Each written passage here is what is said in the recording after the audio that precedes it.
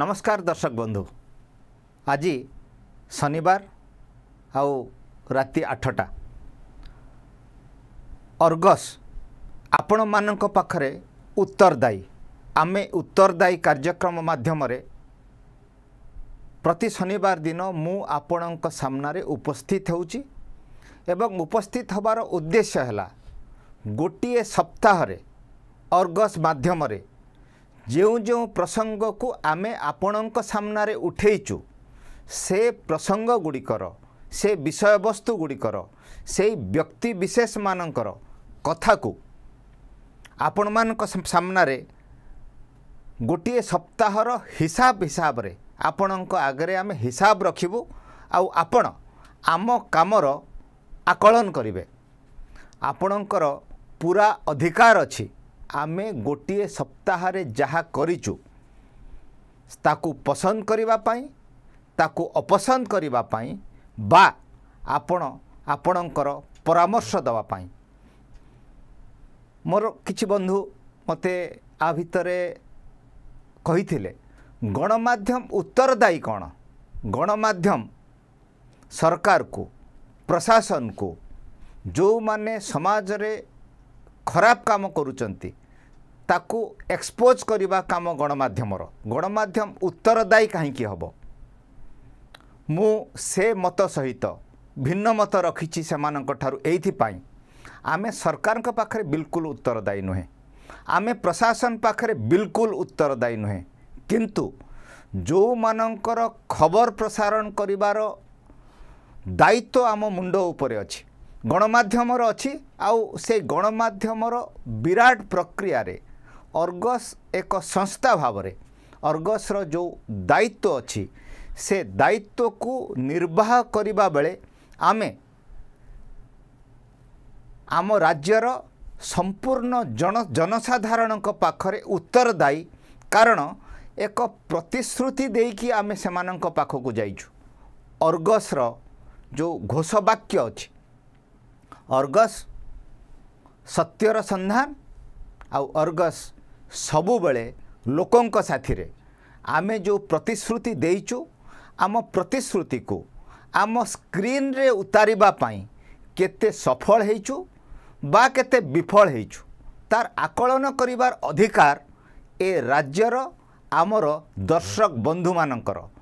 ମୁଁ ବ୍ୟକ୍ତିଗତ ଭାବରେ ଏବଂ ଅର୍ଗସ୍ରେ କାମ କରୁଥିବା ସମସ୍ତେ ଆମେ ଆପଣମାନଙ୍କ ପାଖରେ ଉତ୍ତରଦାୟୀ। କାରଣ ଆପଣ ଆମର ଦର୍ଶକ ଆପଣ ଆମକୁ ପସନ୍ଦ କରିପାରନ୍ତି ଆପଣ ଆମକୁ ପରାମର୍ଶ ଦେଇପାରନ୍ତି ଆପଣ ଆମକୁ ସମାଲୋଚନା ମଧ୍ୟ କରିପାରନ୍ତି। କାରଣ ଗଣତନ୍ତ୍ରରେ ନିନ୍ଦା ପ୍ରଶଂସା ସମର୍ଥନ ବିରୋଧ ଇଏ ନିରନ୍ତର ପ୍ରକ୍ରିୟା ଆଉ ଏ ପ୍ରକ୍ରିୟାରେ ଗଣତାନ୍ତ୍ରିକ ବ୍ୟବସ୍ଥାରେ ଆମେ ଅଙ୍ଗ ଭାବରେ ଆମେ ଯଦି ସମାଲୋଚନା କରିବାର ଶକ୍ତି ଆମ ପାଖରେ ଅଛି ଆମେ ସମାଲୋଚନାର ଉତ୍ତର ଦେବାର ଦାୟିତ୍ୱ ମଧ୍ୟ ଆମର। ଆଉ ମୁଁ ବାରମ୍ବାର ଆଗରୁ କହିଛି ଜଗୁଆଳି ମିଡ଼ିଆର ଯୁଗ ଶେଷ ହେଉଛି। ଆଗରୁ ଗଣମାଧ୍ୟମ ନିର୍ଣ୍ଣୟ କରୁଥିଲା କ'ଣ ଖବର ଦେବ?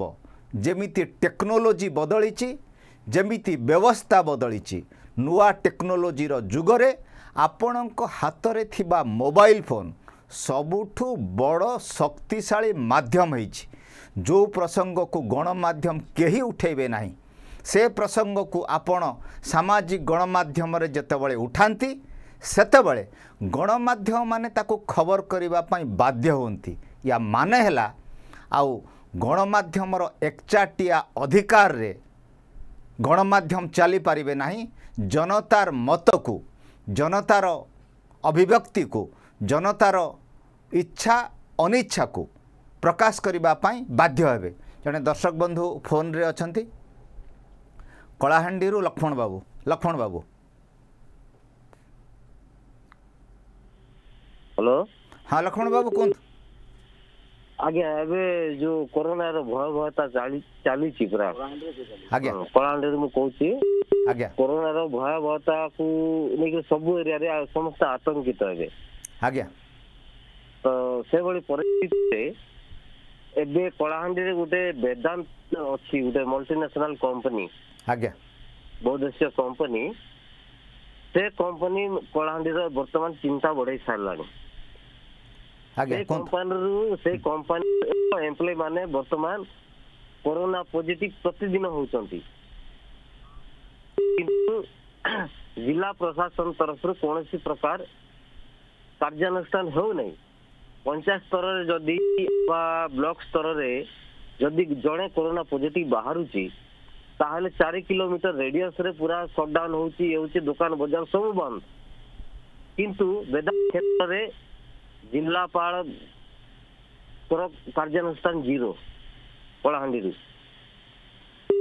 ତ ଏଭଳି ପରିସ୍ଥିତିରେ କଣ କରାଯିବା ଉଚିତ ଲକ୍ଷ୍ମଣ ବାବୁ ଆଜ୍ଞା ଇଏ କରୋନା ଏକ ବିଶ୍ୱର ମହାମାରୀ ଆଉ ଏ ବିଶ୍ୱର ମହାମାରୀ ସମୟରେ ଲୋକମାନଙ୍କୁ ବଞ୍ଚେଇବା ପାଇଁ ଯେଉଁ ଯେଉଁ ଏସ୍ ଓ ପି ସରକାରଙ୍କ ତରଫରୁ ଘୋଷଣା କରାଯାଇଛି ତାହାକୁ ପାଳନ କରାଯିବା ବାଧ୍ୟ ଆପଣ ଯେଉଁ ଅଭିଯୋଗ ଆଣୁଛନ୍ତି ଯେଉଁ ତଥ୍ୟ ଦେଉଛନ୍ତି ସାଧାରଣ ଲୋକ କରୋନା ସଂକ୍ରମିତ ହେଲେ ତାକୁ କଣ୍ଟେନମେଣ୍ଟ ଜୋନ୍ କରାଯାଉଛି।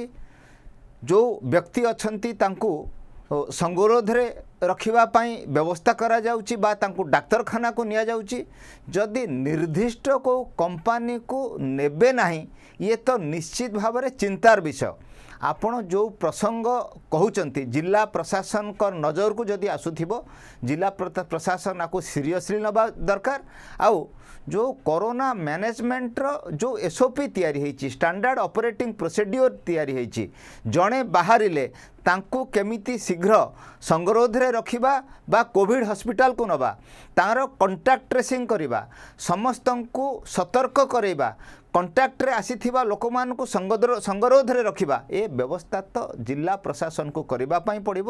ମୁଁ ଭାବୁଛି ଜିଲ୍ଲା ପ୍ରଶାସନ ମାନେ ଦାୟିତ୍ୱ ସହକାରେ ଏ କାମ କରିବା ଉଚିତ। ଯଦି କରୁନାହାନ୍ତି ତାର ଆପଣ ଯେଉଁ ତଥ୍ୟ ସାମ୍ନାକୁ ଆଣିଛନ୍ତି ଆମେ ମଧ୍ୟ ତାର ସରଜମିନ ତଦନ୍ତ କରିବୁ ଏବଂ ଯଦି ଆପଣଙ୍କ ତଥ୍ୟରେ ସତ୍ୟତା ଅଛି ଆମର ପ୍ରତିନିଧି ତାକୁ ଦେଖିବେ ଆମେ ନିଶ୍ଚିତ ଭାବରେ ତାକୁ ପ୍ରସାରିତ କରିବା ପାଇଁ ଉଦ୍ୟମ ମଧ୍ୟ କରିବୁ। ହଁ ଆଉ ଜଣେ ଦର୍ଶକ ଅଛନ୍ତି ହରପାଣିଗ୍ରାହୀ ଭଦ୍ରକରୁ। ଆଜ୍ଞା କୁହନ୍ତୁ। ଭଦ୍ରକରୁ ମୁଁ ଜଣେ ସମାଜସେବୀ। ଆଜ୍ଞା କୁହନ୍ତୁ। ସର୍ବପ୍ରଥମେ ସର୍ବପ୍ରଥମେ ଧନ୍ୟବାଦ ଦେବି ଅର୍- ଅର୍ଗସ ଟିଭିକୁ ଯେ ଏପରି ଏକ କାର୍ଯ୍ୟକ୍ରମ କରି ଆମମାନଙ୍କୁ ସୁଯୋଗ ଦେଲା କିଛି କହିବା ପାଇଁ। କରୋନା ଏକ ବିଶ୍ୱ ମହାମାରୀ ସମୟରେ ଅର୍ଗସ ଟିଭି ଏମିତି କାର୍ଯ୍ୟକଳାପ କରୁଛି ତାହାର ଭୂମିକା ନିତ୍ୟାନ୍ତ ଏକ ଗ୍ରହଣୀୟ ଯୋଗ୍ୟ ହେଇଛି ବର୍ତ୍ତମାନ ସମାଜରେ। ଆପଣ ଠିକ ଦୁଇ ବର୍ଷ ଗୋଟେ ବର୍ଷ ପୂର୍ବକୁ ଯାଆନ୍ତୁ। ଯଦି ପ୍ରିଣ୍ଟ ମିଡିଆ କଥା କହିବେ ତାହେଲେ ଲୋକମାନେ ମୁଁ ଏକ ରୁରାଲ ଏରିଆ ଗାଁ ଗ୍ରାମାଞ୍ଚଳରୁ ବିଲଙ୍ଗସ କରୁଛି। ଯଦି ପ୍ରିଣ୍ଟ ମିଡିଆ କଥା କହିବେ ତାହେଲେ ଗୋଟାଏ ଚ୍ୟାନେ- ଅ, ସମ୍ବାଦ ଆଉ ସମାଜକୁ ଦେଖିବାକୁ ପାଇ।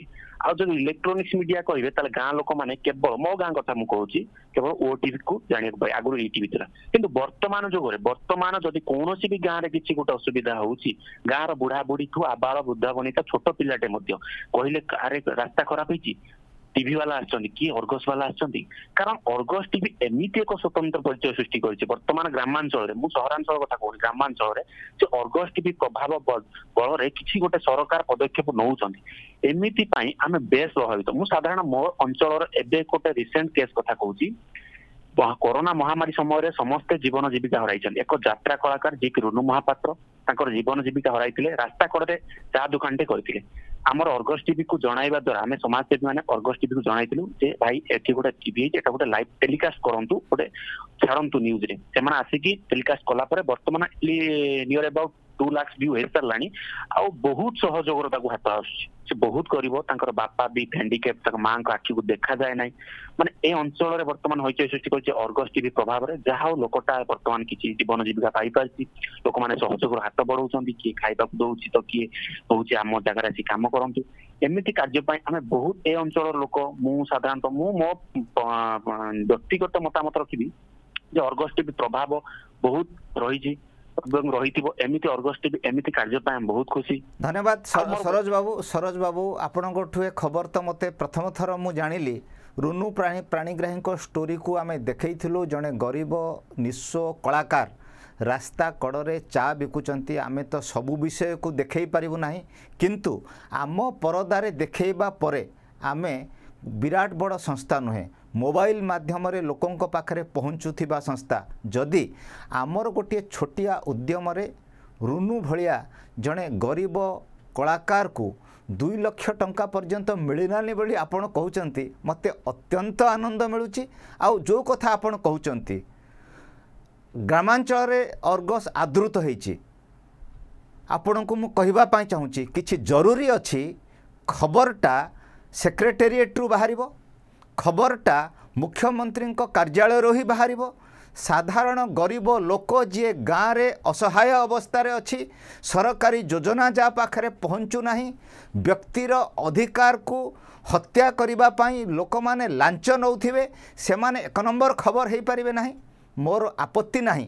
କିଏ ବଡ଼ ଖବର କରେ ପ୍ରଧାନମନ୍ତ୍ରୀଙ୍କୁ ମୁଖ୍ୟମନ୍ତ୍ରୀଙ୍କୁ? କିନ୍ତୁ ମୋ ପାଇଁ ଅର୍ଗସ୍ ପାଇଁ ବଡ଼ ଖବର ହେଉଛି ଓଡ଼ିଶାର ଗାଁ ଗଣ୍ଡାର ସାଧାରଣ ଲୋକମାନଙ୍କର ଜୀବନ ଜୀବିକାର କଥା ଆଉ ସେମାନଙ୍କର ଅଧିକାରର କଥା। ଯେଉଁ ଅଧିକାର ତାଙ୍କୁ ଦିଆଯାଇଛି ତାଙ୍କ ମୁଣ୍ଡ ଉପରେ ଘର ପହଞ୍ଚିବ ତାଙ୍କୁ ଚାଉଳ ମିଳିବ ତାଙ୍କୁ ଭତ୍ତା ମିଳିବ ତାଙ୍କୁ ରାସ୍ତା ହେବ ତାଙ୍କୁ ଡାକ୍ତରଖାନା ମିଳିବ ଥାନାରେ ପୋଲିସ ତାଙ୍କୁ ସାହାଯ୍ୟ କରିବ ତହସିଲ ବ୍ଲକରେ ତାଙ୍କୁ ସବୁ ସୁବ୍ୟବସ୍ଥା କରାଯିବ। ଯଦି ଏ କଥା କେଉଁଠି ହେଉନାହିଁ ଆମର କାମ ହେଉଛି ସେଇଭଳିଆ ଲୋକମାନଙ୍କର ବିଷୟକୁ ଗୁରୁତ୍ୱର ସହିତ ଲୋକମାନଙ୍କ ସାମ୍ନାରେ ଉପସ୍ଥାପିତ କରିବା। ଆପଣଙ୍କୁ ମୁଁ ଧନ୍ୟବାଦ ଦେଉଛି। ଆପଣ ଆମ ସହିତ ଯୋଡ଼ି ହେଲେ ରୁନୁ ମହାପାତ୍ରର ପ୍ରସଙ୍ଗ କହିଲେ ଆଉ ଯେଉଁ ଲୋକମାନେ ଆପଣଙ୍କ ଗ୍ରାମାଞ୍ଚଳରେ ଅର୍ଗସ୍ ଉପରେ ଭରସା କରୁଛନ୍ତି। ରାସ୍ତାର ସମସ୍ୟା ଅଛି ଅର୍ଗସ୍କୁ କୁହ ଅର୍ଗସ୍ ଆସିଛି କି? ଇଏ ଆତ୍ମସନ୍ତୋଷଦାୟକ କିନ୍ତୁ ଆତ୍ମସନ୍ତୋଷରେ ଆମେ ସୀମିତ ହେବା ଲୋକ ନୁହଁ ଆମେ ଜାଣିଛୁ। ଇଏ ସମୁଦ୍ରର ବିରାଟ ବେଳାଭୂମିରେ ଆମେ କେବଳ ବାଲି ଗରଡ଼ାଟିଏ ହିଁ ସଂଗ୍ରହ କରିପାରିଛୁ। ଏଇ ଯେଉଁ ବିଶାଳ ସମସ୍ୟାର ପାହାଡ଼ ଅଛି ଏ ମଧ୍ୟରେ ଆମେ ଆଗକୁ ଚାଲିବୁ ଏ ପ୍ରତିଶ୍ରୁତି ଆମେ ଦେଉଛୁ ଆପଣଙ୍କୁ। ପ୍ରକାଶ ବାବୁ କପ୍ତିପଦାରୁ ଅଛନ୍ତି। ପ୍ରକାଶ ବାବୁ କୁହନ୍ତୁ। ସାର୍ ନମସ୍କାର। ନମସ୍କାର। ସାର୍ ମୁଁ ଜଣେ ସମାଜସେବୀ କପ୍ତିପଦା ଆମର ଗୋଟେ ଉପଖଣ୍ଡ। ଆଜ୍ଞା। ଜଙ୍ଗଲ ଘେରା ପାହାଡ ଅଞ୍ଚଳ ଏଠି। ଏଠି ମୌଳିକ ସମସ୍ୟା ବହୁତ ଅନେକ ଅଛି। ତେଣୁ ଦୁଇ ତିନିଟା ସାର୍ ଆପଣଙ୍କୁ କହିବି। ତେଣୁ ଗଣମାଧ୍ୟମ ଦ୍ଵାରା ଯଦି ଆମର ଏଠି ତାର ପ୍ରତିକ୍ରିୟା ହେଇପାରିବ। କିଛି ଦିନ ପୂର୍ବରୁ ଶରତର ଗୋଟେ ପୁରୁଣା ପାଣି ଜାଗାରେ ଆପଣଙ୍କର ଆମର ଯୋଉ ଏଠି ପ୍ରତିନିଧି ଅଛନ୍ତି ସେ ନ୍ୟୁଜ କରିଥିଲେ। ପାଣିର ପାଣି ସମସ୍ୟାକୁ ନେଇକି? ପାଣି ସମସ୍ୟା ଥିଲା। ଆଜ୍ଞା। ତାପରେ ମୁଁ ବି ବିଡିଓ ସାର୍ଙ୍କୁ ଯାଇକି ଦେଖା କରିଥିଲି। ସେଠି ଗା- ପ୍ରଥମେ ତ ସାର୍ ବିଡିଓ ସାର୍ ମତେ କହିଲେ ଯେ ଏଠି ଗମନାଗମନ ପାଇଁ ଗାଡି ଯୋଉ ଯାଇକି ଖୋଳିବ ତାର କିଛି ସୁବିଧା ନାହିଁ। ପ୍ରଥମତଃ ଆମର ଯୋଉ ମୌଳିକ ସମସ୍ୟା ରହୁଛି ରାସ୍ତାଘାଟ ଶିକ୍ଷା ସ୍ୱାସ୍ଥ୍ୟ ଏଠି ଆମର କପ୍ତିପଦା ଉପଖଣ୍ଡ କପ୍ତିପଦା ସିଏଚସି ଶରତରେ ପିଏଚସି ଅଛି। ଆଜ୍ଞା। କିନ୍ତୁ କୌଣସି ସେମିତି ଗୋଟେ ଭଲ ଡକ୍ଟର ନାହାନ୍ତି ଅନଲି ଏମବିବିଏସ୍ ସିଏ ଫେରି କାମ କରୁନି। ମାନେ ଝାଡା ହେଲେ ଜ୍ୱର ମେଡିସିନ ଦଉଛନ୍ତି ଏଇଭଳିଆ ହିଁ ଆମର ଏଠି ମୌଳିକ ସମସ୍ୟା ଦେଖତେ ହେଲେ ସେ ପାଣି ଖୋଳିବା ପାଇଁ ବର୍ତ୍ତମାନ ଗାଡିଟିଏ ଯାଇପାରୁନି। ରାସ୍ତା ଶୋଚନୀୟ ଅବସ୍ଥାରେ ରହିଛି। ତେଣୁ ଆପଣ ଆମ ଆପଣଙ୍କ ଦ୍ଵାରା ଆମ କପ୍ତିପଦା ଅଞ୍ଚଳରେ ଯଦି ଆମେ ଅସୁବିଧାକୁ ଉପସ୍ଥାପନା କରିତେ ଆପଣଙ୍କ ଗଣମାଧ୍ୟମ ଦ୍ଵାରା ପ୍ରକାଶ ବାବୁ ପ୍ରକାଶ ବାବୁ ମୁଁ ଆପଣଙ୍କୁ ପ୍ରତିଶ୍ରୁତି ଦେଉଛି ଆମେ ଶରତ ଅଞ୍ଚଳକୁ ଯାଇଥିଲୁ କପ୍ତିପଦା ଅଞ୍ଚଳର ସମସ୍ୟାକୁ ଗୁରୁତ୍ୱର ସହିତ ନେଇକି ଦେଖାଇବାର ଦାୟିତ୍ୱ ଆମେ ନେଉଛୁ ଆପଣଙ୍କ ଅନୁରୋଧ ଅନୁସାରେ। ଆମ ପ୍ରତିନିଧି ଯିବେ ଆପଣଙ୍କ ଅଞ୍ଚଳର ଶିକ୍ଷା ସ୍ୱାସ୍ଥ୍ୟ ଗମନାଗମନ ପିଇବା ପାଣି ସରକାରୀ ଯୋଜନାର ଲାଭ ଇଏ ଆପଣଙ୍କ ସହିତ ଯୋଗାଯୋଗ କରିବେ ଏବଂ ଆପଣଙ୍କ ଅଞ୍ଚଳର ଲୋକମାନଙ୍କ ସହିତ ମିଶିକି ଜନତାଙ୍କ ସହିତ ସରକାରୀ ଯୋଜନାର ସମୀକ୍ଷା କରିବେ। ଯୋଜନାର ସମୀକ୍ଷା କରିବାର ଅଧିକାର କେବଳ ନିର୍ବାଚିତ ପ୍ରତିନିଧିମାନଙ୍କର ନୁହେଁ। ଯୋଜନାର ସମୀକ୍ଷା କରିବାର ଦାୟିତ୍ୱ ଜିଲ୍ଲାପାଳଙ୍କ ଅଫିସ୍ ବ୍ଲକ ଅଫିସ୍ ଆଉ ସଚିବାଳୟ ନୁହେଁ। ଜନତାର କୋର୍ଟରେ ମଧ୍ୟ ଜନତାଙ୍କ ଦରବାରରେ ମଧ୍ୟ କାର୍ଯ୍ୟକ୍ରମର ସମୀକ୍ଷା କରାଯାଇପାରେ ଆମେ ଗଣମାଧ୍ୟମର ପ୍ରତିନିଧି ଆମେ ସରକାର ନୁହେଁ ବା ଜନପ୍ରତିନିଧି ନୁହେଁ କିନ୍ତୁ ଜନତାଙ୍କ ସମସ୍ୟା ସହିତ ଯୋଡ଼ି ହେବା ହେଉଛି ଆମର ଦାୟିତ୍ୱ ଏ ଗଣମାଧ୍ୟମର ଦାୟିତ୍ୱ ଆମେ କପ୍ତିପଦାକୁ ଆସନ୍ତା ସପ୍ତାହରେ ଯିବୁ ଏବଂ ଯେଉଁ ଯେଉଁ ପ୍ରସଙ୍ଗ ଆପଣ କହିଛନ୍ତି ଆପଣମାନଙ୍କ ସହିତ ମିଶି ତାକୁ ସମୀକ୍ଷା କରିବୁ। ଯେଉଁ ସ୍ଥାନୀୟ ପ୍ରଶାସନିକ ଅଧିକାରୀ ଅଛନ୍ତି ଯିଏ ବି ଡ଼ି ଓ ଅଛନ୍ତି ଯିଏ ସେଠି ଅନ୍ୟାନ୍ୟ ଅଧିକାରୀ ଅଛନ୍ତି ତୃଣମୂଳ ସ୍ତରରେ କ'ଣ ସମସ୍ୟା ଅଛି? ସବୁ ବ୍ଲକ୍ ପାଇଁ ତ ସମାନ ପ୍ରକାର ପଇସା ଯାଉଛି। ଯଦି ଆପଣଙ୍କ ଅଞ୍ଚଳ ଆଦିବାସୀ ଅଞ୍ଚଳ ଏଥିପାଇଁ ତ ଆହୁରି ଅଧିକା ପଇସା ଅଛି ମୟୂରଭଞ୍ଜ ଜିଲ୍ଲା ପାଇଁ। ଯଦି ବିକାଶ ପହଞ୍ଚୁନାହିଁ ଏଥିରେ କାହାର ଦୋଷ ଆଉ ତ୍ରୁଟି ଅଛି? ଯଦି ଆପଣମାନେ ହେଲେ ଆମେ ଆପଣମାନଙ୍କ ପାଇଁ ଯିବୁ ଆପଣଙ୍କ ସମସ୍ୟାକୁ ବୁଝିବା ପାଇଁ ଏ ସମସ୍ୟା ସମାଧାନ ନ ହେବା ପଛରେ କାହାର ହାତ ତ ଥିବ? ଆଉ ସେ ବ୍ୟକ୍ତିକୁ ମଧ୍ୟ ଆମେ ଆମ ତାଙ୍କର ପ୍ରତିକ୍ରିୟା ନେବା ପାଇଁ ଚାହିଁବୁ ଏବଂ ଯଦି ତାହା ଦୋଷ ତ୍ରୁଟି ଅଛି ତାକୁ ମଧ୍ୟ ଆମେ ଏକ୍ସପୋଜ୍ କରିବା ପାଇଁ ଚେଷ୍ଟା କରିବୁ। ମୁଁ ଭାବୁନି ଆପଣଙ୍କ ଗାଁରେ ଶରତ ଅଞ୍ଚଳରେ ପାଣି ନାହିଁ। ଆଉ ବିଡ଼ିଓ କହିଲେ ଯେ ଗାଁକୁ ଗାଡ଼ି ଯାଇପାରୁନି ତେଣୁ ପାଣି ବ୍ୟବସ୍ଥା ହୋଇପାରୁନାହିଁ। ବୋଧହୁଏ ସେ ବିଡ଼ିଓଙ୍କୁ ବିକାଶ ପାଇଁ କ'ଣ ଆବଶ୍ୟକତା ଅଛି ଯେଉଁ ଦାୟିତ୍ୱ ଦିଆଯାଇଛି ସେ ଦାୟିତ୍ୱକୁ ବୁଝିବାରେ ବିଫଳ ହୋଇଛନ୍ତି। ଚୌଦ୍ୱାରରୁ ଶ୍ରୀକାନ୍ତ ବାବୁ ଅଛନ୍ତି ଫୋନ୍ରେ କୁହନ୍ତୁ ଶ୍ରୀକାନ୍ତ ବାବୁ ଆଜ୍ଞା ନମସ୍କାର ନମସ୍କାର ଆପଣଙ୍କର ସେ ଅ, ପହର ଦିନ ଚୌଦାରରୁ ଯେ ଆପଣଙ୍କର ପ୍ରତିନିଧି ଅଛନ୍ତି ଅଜିତ ସ୍ୱାଇଁ ସେ ଗୋଟେ କରିଥିଲେ ଷ୍ଟୋରି ଗୋଟେ କରିଥିଲେ ଯେ କମ୍ୟୁନିଟି ଟଏଲେଟ ଉପରେ। ହଁ ହଁ। ସେ କମ୍ୟୁନିଟି ଟଏଲେଟ ବାସ୍ତବରେ କେବଳ କମ୍ୟୁନିଟି ଟଏଲ ନାହିଁ କମ୍ୟୁନିଟି ସେଣ୍ଟର ଗୁଡାକ ଯେତେବେଳେ ସବୁ ଉନ୍ନତି ଯୋଜନାରେ ବାସ୍ତବ ଏଗୁଡ଼ା ସବୁ ହେଇଥିଲା। ଆଜ୍ଞା। ଦୁଇ ହଜାର ଅଠର ମସିହାରେ ହେଇଥିଲା କିନ୍ତୁ ପାଖାପାଖି ଗୋଟେ ଗୋଟେ କମ୍ୟୁନିଟି ଟଏଲେଟରେ ପାଞ୍ଚ ଲକ୍ଷ ଏବଂ କମ୍ୟୁନିଟି ସେଣ୍ଟରରେ ପନ୍ଦର ଲକ୍ଷ କୋଡିଏ ଲକ୍ଷ ଲେଖା ଖର୍ଚ୍ଚ କରୁଛନ୍ତି। କିନ୍ତୁ କୌଣସି ଜାଗାରେ ଏପର୍ଯ୍ୟନ୍ତ ସେ ଟଏ- କ- ନା ଟଏଲେଟ ନା କମ୍ୟୁନିଟି ସେଣ୍ଟର ସେମାନେ ବିଜେଡିକୁ ବିଜେଡି ଦଳର କବ୍ଜାରେ ରହିଛି। ତାଙ୍କର ଯୋଉ ସ୍ଥାନୀୟ କାଉନସିଲର ତାଙ୍କ କବ୍ଜାରେ ରହିଛି କି ତାକୁ ନା ପ୍ରଶାସନ ତାକୁ ଖୋଲୁଛି ସେ ତାକୁ ସାଧାରଣ ଲୋକ କାମରେ ଆସୁଛି ନା ପ୍ରଶାସନ ତାକୁ ଖୋଲୁଛି। ତେଣୁ ଏପର୍ଯ୍ୟନ୍ତ କୌଣସି ଟଏଲେଟ ଏବଂ କୌଣସି ଯୋଉ କମ୍ୟୁନିଟି ସେଣ୍ଟର କାର୍ଯ୍ୟକାରୀ ହଉନି ସେ ସେମିତି ଯୋଉ ପନ୍ଦର ଲକ୍ଷ କୋଡିଏ ଲକ୍ଷ ଲେଖା ଖର୍ଚ୍ଚ ହେଇଛି ସେ କେବଳ ସେଇ ବିଲ୍ଡିଂ ଭଳି ଠିଆ ହେଇଛି। ତେଣୁ ସିଏ କେବଳ କମ୍ୟୁନିଟି ଟଏଲେଟ ଉପରେ କରିଥିଲେ ଭଲ ପ୍ରସଙ୍ଗଟେ କରିଥିଲେ। ଆଗାମୀ ଦିନରେ ଯଦି ପନ୍ଦର ଦିନ ପରେ ଯଦି ୟା ପରେ ସେମାନେ ଟଏଲେଟ କୁ ଥିବାରେ ନ ଖୋଲୁଛନ୍ତି ବା ପ୍ରଶାସନ କାର୍ଯ୍ୟକାରୀ ନ କରୁଛି ମୁଁ ଭାବୁଛି ଆଉ ଥରେ ଅର୍ଗସ ୟା ପରେ ଅନୁରୋଧ କରୁଛି ଯେ ଷ୍ଟୋରି କରୁ।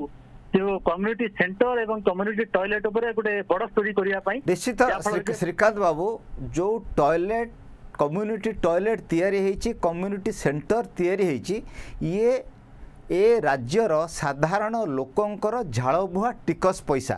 ଯେତେବେଳେ ପଇସା ଲାଗିଛି ସେ ଲୋକଙ୍କ ବ୍ୟବହାରରେ ଲାଗିବାରେ ଆସିବା ଉଚିତ। ଯଦି ହେଇନି ଆମେ ତାକୁ ପ୍ରସଙ୍ଗ କରିଛୁ ମୁଁ ପ୍ରତିଶ୍ରୁତି ଦେଉଛି ଆଗାମୀ ଦିନରେ ତାକୁ ଆମେ ନିଶ୍ଚିତ ଭାବରେ ପ୍ରସଙ୍ଗ କରିବୁ। ଗଗନ ବାବୁ ଭିଡ଼ିଓ କନଫରେନ୍ସିଂ ମାଧ୍ୟମରେ ଅଛନ୍ତି ଗଗନ ଦଳେ ଗଗନ ବାବୁ କୁହନ୍ତୁ ହ୍ୟାଲୋ ହ୍ୟାଲୋ ହ୍ୟାଲୋ ନମସ୍କାର ସାର୍ ନମସ୍କାର ନମସ୍କାର ଗଗନ ବାବୁ କୁହନ୍ତୁ ସାର୍ ମୁଁ ଅ, ସମ୍ଭାବନା ଚାରିଟେବଲ୍ ଟ୍ରଷ୍ଟରୁ କହୁଥିଲି। ଅ, ଆମର ବ୍ରହ୍ମଗିରି ପ୍ରତିନିଧି ଅର୍ଗସର କାଳୁଚରଣ ସାହୁ ଥିଲେ। ତାଙ୍କ ଦ୍ୱାରା ଆମେ ଗୋଟେ ନ୍ୟୁଜ୍ ପାଇଥିଲୁ ଦେଖିବାକୁ ମିଲନ ସାହୁଙ୍କର। ଆପଣ ଯୋଉ ଆଜି ଭିଜୁଆଲ ଚାଲୁଥିଲା ଯୋଉ ଅପରେସନ ହବାର ଥିଲା। ଅ, ସେଥିପାଇଁ ବହୁତ ବହୁତ ଧନ୍ୟବାଦ ଦେବି ଅର୍ଗସକୁ ଏଇ କରୋନା ସମୟରେ ଲୋକମାନଙ୍କର ଏଭଳି ପରିସ୍ଥିତିରେ ଲୋକ ଯୋଉ ଗତି କରୁଛନ୍ତି ତା ମଧ୍ୟରେ ମଧ୍ୟ କାଳୁ ବା କାଳୁ ବାବୁ ଯୋଉ ନ୍ୟୁଜ୍ଟା ଆଣିଥିଲେ ଅର୍ଗସ ନ୍ୟୁଜ୍ ମାଧ୍ୟମରେ ଆମମାନଙ୍କ ପାଖକୁ ଆମେ ବାଙ୍ଗାଲୋର ରହୁଛୁ ଆମେ ସମ୍ଭାବନା ଟ୍ରଷ୍ଟ ମାଧ୍ୟମରେ ଟ୍ରାଏ କରୁଥିଲୁ ତାର ଅପରେସନ ପାଇଁ ତିନି ଲକ୍ଷ ଟଙ୍କା ଆବଶ୍ୟକ ମାନେ। ଆପଣ ଆପଣ ବାଙ୍ଗାଲୋରରୁ ଏବେ କହୁଛନ୍ତି? ଆପଣ ଏବେ ବାଙ୍ଗାଲୋରରୁ କହୁଛନ୍ତି? Exactly current currently I mean Bangalore Yeah. So ଆମେ ଅ, ଆମେ ଅଗଷ୍ଟକୁ ବହୁତ ବହୁତ ଧନ୍ୟବାଦ ଦେବୁ ଯାହା ହଉ ଏଇ ପାଣ୍ଡାମିକ ସମୟରେ ଲୋକମାନେ ଏତେ ଭୟଭୀତ ଥିବା ଅବସ୍ଥାରେ ମଧ୍ୟ ଅର୍ଗସ ଗୋଟେ ଗରିବ ଲୋକର ଅ, ଦୁଃଖକୁ ସମାଜ ଲୋକଲୋଚନକୁ ଆଣିପାରିଥିଲା ଯୋଉଟା କି ଆମେ କହୁଛୁ ଗ- ଗ- ଗ- ଗଗନ ବାବୁ ଗଗନ ବାବୁ ଆମେ ତ ଛୋଟିଆ କାମ କରୁଛୁ ଯେଉଁଟା ସୋସାଇଟିରେ ଅଛି ଦେଖେଇ ଦେଉଛୁ। ଆପଣଙ୍କୁ ମୁଁ ଧନ୍ୟବାଦ ଦେଉଛି। ଆପଣମାନେ ଆପଣଙ୍କ ରୋଜଗାରକୁ ଲଗେଇକି ସେ ଲୋକମାନଙ୍କ ପାଖରେ ସାହାଯ୍ୟ ପହଞ୍ଚାଇଛନ୍ତି। ଆମେ ତ ଛୋଟିଆ କାମ କରୁଛୁ ଲୋକର ସମସ୍ୟାକୁ ଦେଖାଇବା ପାଇଁ। ଆପଣଙ୍କୁ ମଧ୍ୟ ଅଶେଷ ଅଶେଷ ଧନ୍ୟବାଦ। ବାଙ୍ଗାଲୋରରୁ ଆପଣ ଆମ ସହିତ ଯୋଡ଼ି ହେଉଛନ୍ତି ବାଙ୍ଗାଲୋରରେ ରହିଲେ ମଧ୍ୟ ଆପଣଙ୍କ ଗାଁକୁ ଆପଣ ଭୁଲି ନାହାନ୍ତି ଆପଣଙ୍କ ଅଞ୍ଚଳର ସମସ୍ୟା ପ୍ରତି ଆପଣଙ୍କର ସମ୍ବେଦନଶୀଳତା ଅଛି। ସେଥିପାଇଁ ମଧ୍ୟ ମୁଁ ଆପଣଙ୍କୁ ଧନ୍ୟବାଦ ଦେଉଛି। ଦର୍ଶକ ବନ୍ଧୁ ଚିନ୍ମୟ ଜେନା। ହଁ ଭିଡ଼ିଓ କନଫରେନ୍ସିଂ ମାଧ୍ୟମରେ ଜଣେ ବନ୍ଧୁ ଅଛନ୍ତି ତାଙ୍କ ସହିତ କଥା ହେବା। ଦର୍ଶକ ବନ୍ଧୁ ଆଜି ମୁଁ କଥା ଆରମ୍ଭ କଲାବେଳେ ମୁଁ ଯେଉଁ ବିଷୟ ଆପଣମାନଙ୍କ ଆଗରେ ସପ୍ତାହର ହିସାବ ଦେବାକୁ ଚାହୁଁଥିଲି ତାର ହିସାବ ଦେଇପାରିନି। ଏବେ ଜଣେ ଦର୍ଶକ ବନ୍ଧୁ ଅଛନ୍ତି କଥା ହେଇଯିବା। ତାପରେ ମୁଁ ଦୁଇ ମିନିଟ୍ ନେବି ସପ୍ତାହରେ ଆମେ କ'ଣ କରିଛୁ ଥରେ ମୁଁ ଆପଣଙ୍କୁ କହିବା ପାଇଁ ଚାହିଁବି।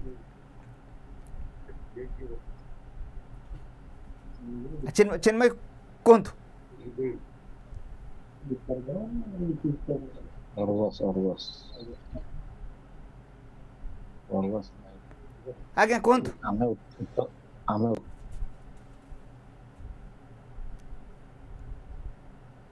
ବୋଧହୁଏ ଯୋଗାଯୋଗରେ ଯୋଗାଯୋଗରେ କିଛି ସମସ୍ୟା ହେଉଛି ଆମେ ଯୋଗାଯୋଗ କରିବା ପାଇଁ ଚେଷ୍ଟା କରିବୁ ଏଇ ସପ୍ତାହରେ ମୁଁ ଗୋଟିଏ ମିନିଟ୍ ସମୟରେ ଆପଣଙ୍କୁ କହିବାକୁ ଚାହିଁବି ଥରେ ମୁଁ ଓ, ଆପଣଙ୍କ ପ୍ରଶ୍ନର ଉତ୍ତର ଦେବା ପାଇଁ ଯେତିକି ଆସିଛି ମୁଁ ମୋର ହିସାବ ବି ଦେବା ଆପଣମାନଙ୍କ ଆଗରେ ଦାୟିତ୍ୱ। ଗତ ସପ୍ତାହରେ ଦୁଇ ତିନିଟା ବିଷୟ କରିଛି ଯଦି ଫୋନ୍ ଆସିବ ମୋ ବନ୍ଧୁମାନଙ୍କୁ କହିବି ମୋତେ ଦେବେ। ମୁଁ ଗୋଟିଏ ମିନିଟ୍ ଭିତରେ ଦୁଇ ଚାରିଟା ବିଷୟ ଆପଣଙ୍କୁ କହିବା ପାଇଁ ଚାହିଁବି। କରୋନା ସମୟରେ ଚାରିଆଡ଼େ ହତାଶାର ବାତାବରଣ। ରୋଜଗାର ନାହିଁ ପଇସା ନାହିଁ ଚଳିବୁ କେମିତି? କିନ୍ତୁ ଭଦ୍ରକ ଜିଲ୍ଲା ଚାନ୍ଦବାଲି ବ୍ଲକ ପଣସପଡ଼ା ଗାଁର ଶିବପ୍ରସାଦ ସାହୁ ଯାହା କରି ଦେଖେଇଛନ୍ତି ବୋଧହୁଏ ଏ ରାଜ୍ୟର ନୀତି ନିର୍ଦ୍ଧାରକମାନେ ଏ ରାଜ୍ୟକୁ ଚଳାଉଥିବା ଲୋକମାନେ ତାକୁ ଦେଖିବା ଉଚିତ। ଦର୍ଶକ ବନ୍ଧୁ ଜଣେ ବ୍ୟକ୍ତି ଯାହାର ଜମି ନାହିଁ ଗୁଜୁରାଟରେ ଦାଦନ ଖଟୁଥିଲେ ନିଜ ରାଜ୍ୟକୁ ଫେରିଲେ କେତେ ହଇରାଣ ଭିତରେ ଅସୁବିଧା ଭିତରେ ଆସିଥିବେ ଇଏ ତିନି ଚାରି ମାସ ହେଇଛି। ତିନି ଚାରି ମାସ ଭିତରେ ଏକେରେ ଜମିକୁ ଭାଗ ନେଇକି ସେ ଜାଗାରୁ ଦିନକୁ ଅନ୍ୟୁନ ହଜାରେ ଟଙ୍କା ସିଏ ରୋଜଗାର କରୁଛନ୍ତି ଗୁଜୁରାଟ ଯାଇକି ଯେଉଁ ନୂଆ ଚାଷ ପଦ୍ଧତି ସେଠୁ ଶିଖିଲେ ତାକୁ ଆଣିକି ତାଙ୍କ ଗାଁରେ ଇମ୍ପ୍ଲିମେଣ୍ଟ କଲେ ଆଜି କେବଳ ଭଦ୍ରକ ନୁହେଁ ଇଏ ଓଡ଼ିଶା ପାଇଁ ଉଦାହରଣ ମୁଁ କହିବି। ଯଦି ଏକରେ ଜାଗାରୁ ଦିନକୁ ହଜାରେ ଟଙ୍କା ରୋଜଗାର କରାଯାଏ ତିନି ମାସର ଉଦ୍ୟମରେ ମୁଁ ଭାବୁଛି କେଉଁ ଶିଳ୍ପ ନାହିଁ। ଯଦି ସବୁଠୁ ଲୋ ହ୍ୟାଙ୍ଗିଂ ଫ୍ରୁଟ୍ ଅଛି ଗଛର ତଳେ ଫଳୁଛି ତାକୁ ଓହ୍ଲେଇକି ଖାଇହେବ ଲୋକମାନଙ୍କ ପାଇଁ। ବୋଧହୁଏ ତା'ର ଉଦାହରଣ ଭଦ୍ରକ ଜିଲ୍ଲା ଚାନ୍ଦବାଲି ବ୍ଲକ ପଣସପଡ଼ା ଗାଁର ଶିବପ୍ରସାଦ ସାହୁ। ତାଙ୍କର ଯେଉଁ ନୂଆ ଉପାୟରେ କରିଛନ୍ତି ଆମେ ତାକୁ ଦେଖେଇଛୁ। ଆମର ପ୍ରତିନିଧି କାଲି ତାଙ୍କ ପାଖକୁ ଆଉ ଥରେ ଯିବେ ଭୁବନେଶ୍ୱରରୁ। ସେଠି ତାଙ୍କ ସହିତ ଏକକ ସାକ୍ଷାତକାର କରିବେ। ଯେଉଁ ସାକ୍ଷାତକାର ହେବ ତାକୁ ଚାଷ କେମିତି କଲ ତ ପଚାରିବେ ତାଙ୍କ ଇତିହାସ ବିଷୟରେ ପଚାରିବେ କିନ୍ତୁ ତାଙ୍କର ଯେଉଁ ଉଦ୍ୟମ ଓଡ଼ିଶାର ଭାଗ୍ୟକୁ ପରିବର୍ତ୍ତନ କରିବା ପାଇଁ କ'ଣ କଲେ କରାଯାଇପାରେ ଏ ପ୍ରଶ୍ନ ଆମ ପ୍ରତିନିଧି ଆସନ୍ତାକାଲି ତାଙ୍କୁ ପଚାରିବେ ଓଡ଼ିଶାର ଶାସନ କରୁଥିବା ଲୋକ ଓଡ଼ିଶାର ରାଜନୈତିକ ଦଳର ଲୋକମାନେ ସାମାଜିକ କାର୍ଯ୍ୟକର୍ତ୍ତାମାନେ ଯୁବପିଢ଼ିମାନେ ଯେଉଁମାନେ ଓଡ଼ିଶାରେ କେମିତି ଆର୍ଥିକ ପ୍ରଗତି ହେବ ଏଥିପାଇଁ ଚିନ୍ତାରେ ପଡ଼ିଛନ୍ତି ବୋଧହୁଏ ଶିବ ବାବୁଙ୍କ ମୁହଁରୁ ଥରେ ଶୁଣିବା ଦରକାର କାରଣ ଶିବ ବାବୁ ଅକ୍ସଫୋର୍ଡ ଆଉ ହାବାର୍ଡରେ ପାଠ ପଢ଼ିନାହାନ୍ତି ବା ଓୟୁଏଟିରେ ବା ଆଉ କେଉଁ କୃଷି ବିଶ୍ୱବିଦ୍ୟାଳୟରେ ପାଠ ପଢ଼ିନାହାନ୍ତି।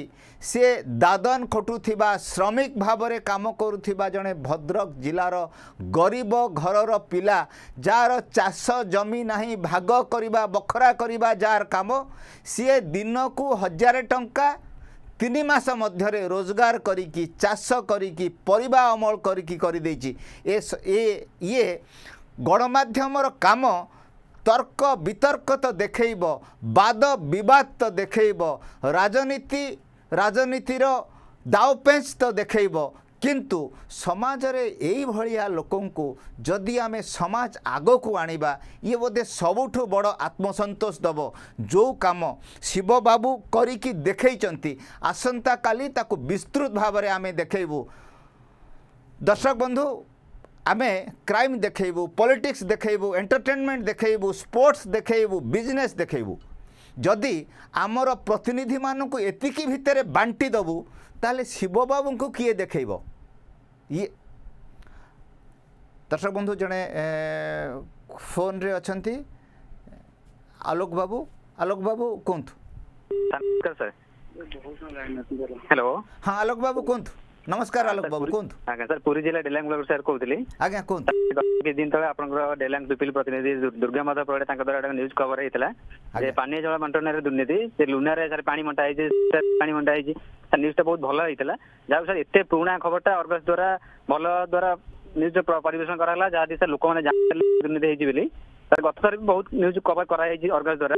ଯେମିତିକି ସାର୍ ଶୌଚାଳୟ ଦୁର୍ନୀତି ଯେମିତିକି ଇନ୍ଦିରା ଆବାସ ଦୁର୍ନୀତି ଯେମିତିକି ସାର୍ ଫନି ଦୁର୍ନୀତି ଯୋଉଟା କି ଅର୍ଗସର ପ୍ରତିନିଧି ଦୁର୍ଗାମାଧ ପ୍ରଧାନ ଦ୍ୱାରା ଭଲ ସୁନ୍ଦର ଭାବରେ ପରିବେଷଣ କରିଥିଲା ସାର୍ ସାର୍ ଆଉ ଏମିତି ସାର୍ ଡେଲାଙ୍ଗ ବ୍ଲକଟା ଏତେ ଦୁର୍ନୀତି ରହିଯାଇଛି ବାର ବାର ଅର୍ଗସ ସାର୍ ଖବର ପ୍ରକାଶ ପାଇଲା ପରେ ମଧ୍ୟ ପ୍ରଶାସନ ସାର୍ ଚୁପ୍ ବିଡିଓ ଚୁପ୍ ସାର୍ ତହସିଲଦାର ଚୁପ୍। ସାର୍ ଆମେ ସେଥିପାଇଁ ଚାହୁଁଛୁ ଯେ ସାର୍ ଆଉ ଟିକେ ମୁଁ ଭାବୁଛି ଅର୍ଗସ ଦ୍ୱାରା ସାର୍ ଲାଇଭ୍ ପ୍ରୋଗ୍ରାମ ଟିକେ କରାଗଲେ ସାର୍ ଭଲ ହୁଅନ୍ତା। ସାର୍ ଏମିତି କି ମୂର୍ତ୍ତିକା ସଂରକ୍ଷଣ ବିଭାଗରେ ଏତେ ଦୁର୍ନୀତି ସାର୍ ହେଇଛି ନିଶ୍ଚିତ ଭାବରେ ଯାହାଦ୍ୱାରା ନିଶ୍ଚିତ ସାର୍ ଭାବରେ ଆଲୋକ ବାବୁ ଆମେ ସମସ୍ୟାକୁ ଦେଖେଇବୁ ଯେଉଁ କଥା କହିଲେ ଗତ ସପ୍ତାହରେ ଆମେ ପ୍ରମୁଖତାର ସହିତ ଦେଖେଇଥିଲୁ। ଡେଲାଙ୍ଗ ବ୍ଲକରେ ଯେଉଁ ପିଇବା ପାଣି ବୁହାଗଲା ଯେତେବେଳେ ଗୋଟେ ଆର୍ ଟି ଆଇ ଆନ୍ସରକୁ ଆମେ ଦେଖିଲୁ ସେତେବେଳେ ଦେଖିଲୁ ଲୁନାରେ ଯେଉଁ ନମ୍ବର ଦିଆଯାଇଛି ସେଇଟା ଟ୍ୟାଙ୍କର ନୁହଁ। ମୁଁ ଆମେ ଶୁଣିଥିଲୁ যে লালু প্রসাদ যাদব যেতবে সেটি গোখাদ্য দুর্নীতি করে চারা ঘোটালা বলে কুহযাওয়া হিন্দি সেতবে সেইভাবে স্কুটরের স্কুটরের ষণ্ଢ বুহা হয়েছিল দেখা যাওয়া এবে ওড়শার ডেলাঙ্গরে লুনা যে নম্বর যে নম্বর বাহুচি আরটিআই আনসর সেথিরে হাজার হাজার লিটর পানি বুহা হচ্ছিল ইয়ে ଇଏ ପୁରୁଣା କଥା ହେଲା କି ନୂଆ କଥା ହେଲା ସେଇଟା ଗୁରୁତ୍ୱପୂର୍ଣ୍ଣ କଥା ନୁହେଁ କିନ୍ତୁ ପାଣି ନ ବୋହିକି ପାଣି ନ ପହଞ୍ଚେଇକି ମିଛ ପାଣି ପହଞ୍ଚେଇବାର ହିସାବ ଦେଇକି ଯେଉଁମାନେ ଟିକସଦାତାମାନଙ୍କର ପଇସା ଖାଇଛନ୍ତି ସେମାନେ ଆଜି ଖାଆନ୍ତୁ ପୁରୁଣା ଖାଆନ୍ତୁ।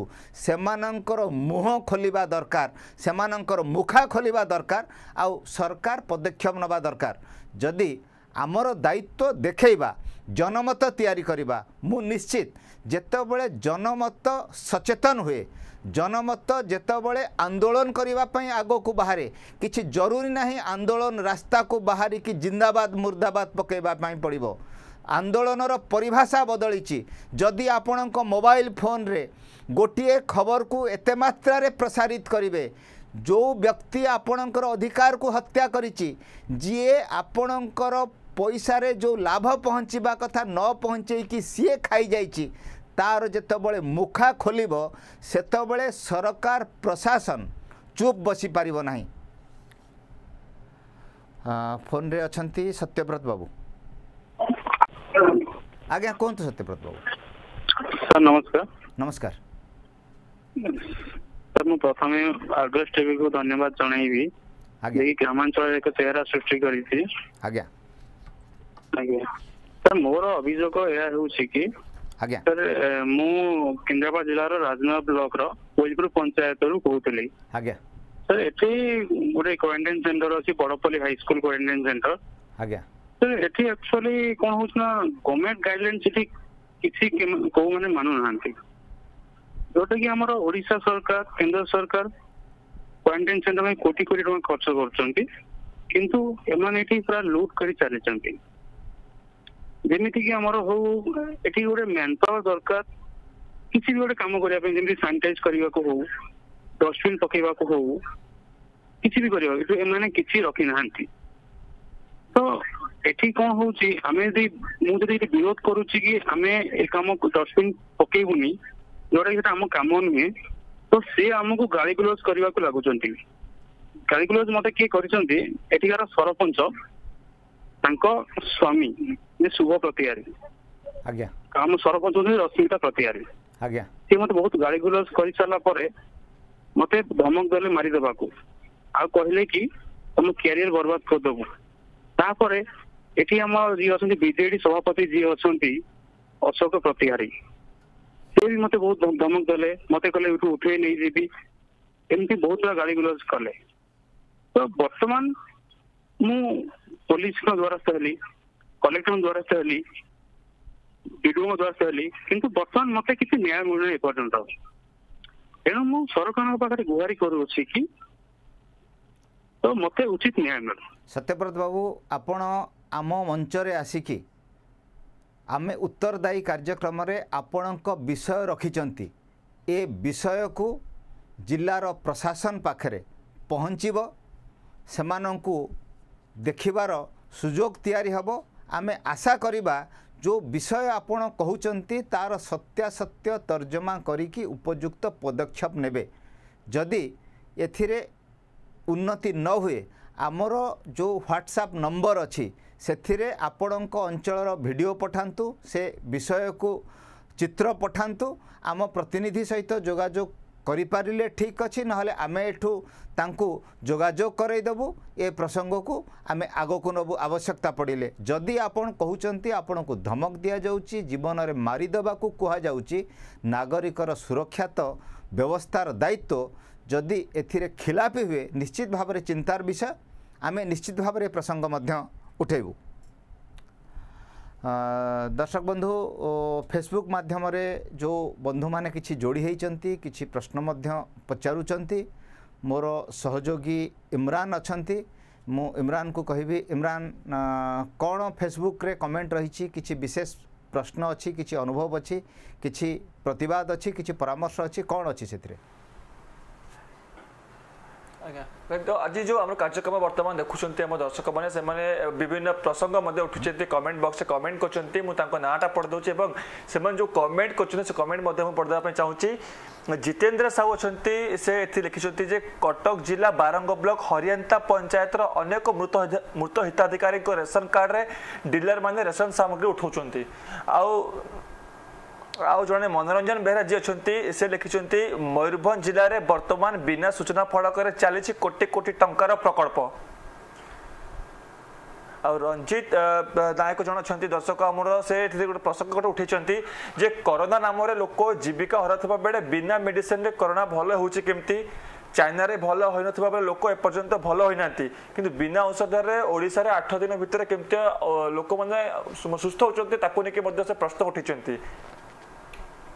ଆହୁରି କିଛି ଦର୍ଶକ ଅଛନ୍ତି ସେମାନେ ମଧ୍ୟ ଆମକୁ କମେଣ୍ଟ କରିଛନ୍ତି ଇନ୍ଦୁସ ଭ୍ୟାଲି ବା ଯେଉଁମାନେ ଦାସ ନିରଞ୍ଜନ ଯିଏ ଅଛନ୍ତି ସେ ଲେଖିଛନ୍ତି লিখিଛନ୍ତି ଏବଂ ଅକ୍ଷୟ ନାଗ ଯିଏ ଅଛନ୍ତି ସେ ଲେଖିଛନ୍ତି ଗତ କିଛି ଦିନ ତଳେ ଆପଣଙ୍କର ଚ୍ୟାନେଲରେ ଏକ ଖବର ଦେଖିଥିଲି ସୋସିଆଲ ମିଡ଼ିଆରେ କଳାହାଣ୍ଡି କେସିଙ୍ଗାରେ ଗ୍ରେଟ୍ ସବଷ୍ଟେସନ କାହିଁକି ଶୀଘ୍ର ସମ୍ପୂର୍ଣ୍ଣ ହୋଇପାରୁନାହିଁ ଶକ୍ତି ମନ୍ତ୍ରୀ ଏଥିପ୍ରତି ଉତ୍ତର ଦେବା କଥା ବୋଲି ସେ ଏଥିରେ ପ୍ରଶ୍ନ ମଧ୍ୟ ଉଠାଇଛନ୍ତି ତ ଏଭଳି ଭାବରେ ଅନେକ ଦର୍ଶକମାନେ ବର୍ତ୍ତମାନ ଆମକୁ ଏଥିରେ ଆମକୁ କିଛି ପରାମର୍ଶ ଅଛି ଆମକୁ କିଛି ସମାଲୋଚନା ଅଛି ନା ଖାଲି କିଛି ଆମକୁ ଦର୍ଶକମାନେ ଆମକୁ କିଛି ପରାମର୍ଶ ଦେଇନାହାନ୍ତି?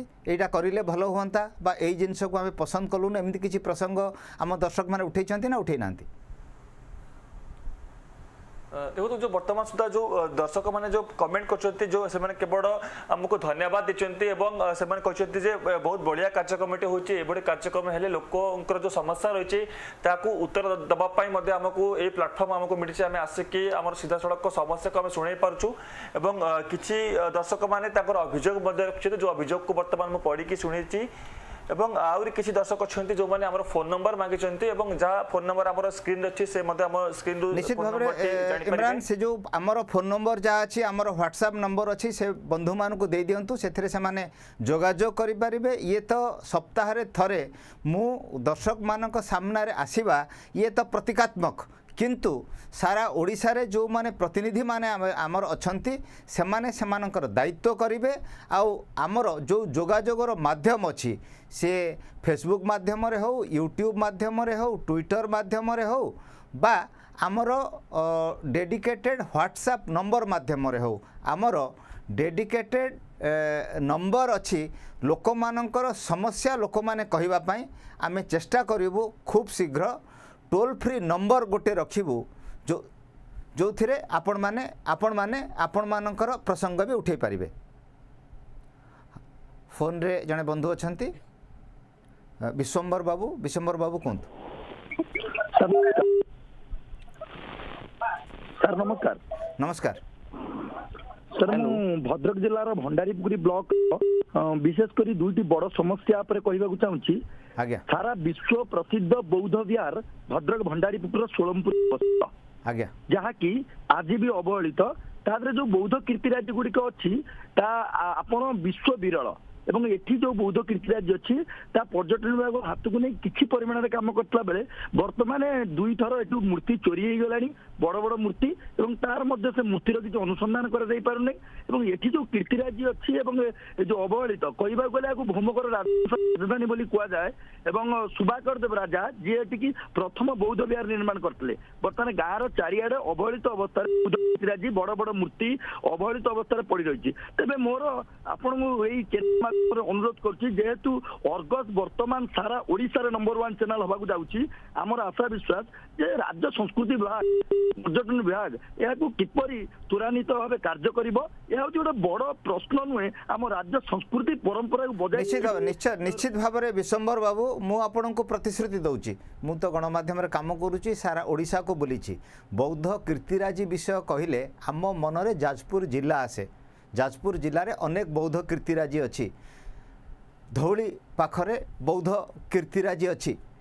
କିନ୍ତୁ ଭଦ୍ରକ ଜିଲ୍ଲାରେ ଆପଣ ଯେଉଁ ଅଞ୍ଚଳରେ କହୁଛନ୍ତି ବୌଦ୍ଧ କୀର୍ତ୍ତିରାଜି ଅଛି ବୌଦ୍ଧ ମତ ସହିତ ବୌଦ୍ଧ ବିଚାର ସହିତ ଓଡ଼ିଶାର ବହୁ ପୁରୁଣା ସମ୍ପର୍କ ରହିଛି। ଏହି କଳିଙ୍ଗ ଯୁଦ୍ଧରେ ଚଣ୍ଡାଶୋକକୁ ଧର୍ମାଶୋକରେ ପରିଣତ କରିଥିବା ଜାତି ଇଏ ପୃଥିବୀରେ ବୌଦ୍ଧ ଧର୍ମ ପ୍ରଚାରରେ ସବୁଠୁ ବଡ଼ ଭୂମିକା ନିଆଯାଉ ନେଇଥିଲା ବୋଲି କୁହାଯାଏ। ଅଶୋକଙ୍କର ପୁଅ ଏବଂ ଝିଅ ସେମାନେ କଳିଙ୍ଗ ପୋତରେ ବସି ସିଂହଳକୁ ଯାଉଥିଲେ ବୋଲି କୁହାଯାଏ।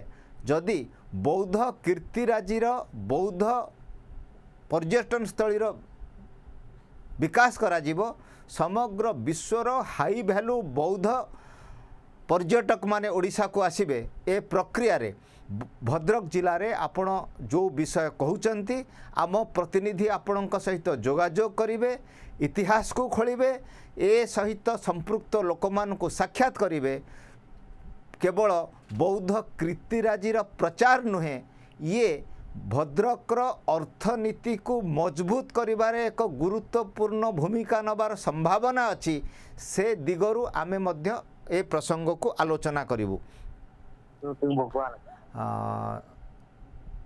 ଫୋନ୍ରେ ଅଛନ୍ତି ପାଣିଗ୍ରାହୀ ବାବୁ କୁହନ୍ତୁ ପାଣିଗ୍ରାହୀ ବାବୁ କୁହନ୍ତୁ ସାର୍ ନମସ୍କାର ଅର୍ଗସ ନ୍ୟୁଜ୍କୁ ବହୁତ ବହୁତ ଧନ୍ୟବାଦ ମତେ ଆଜି ସୁଯୋଗ ଦେଇଥିବାରୁ ବହୁତ ଦିନ ମୁଁ ଟ୍ରାଏ କରୁଥିଲି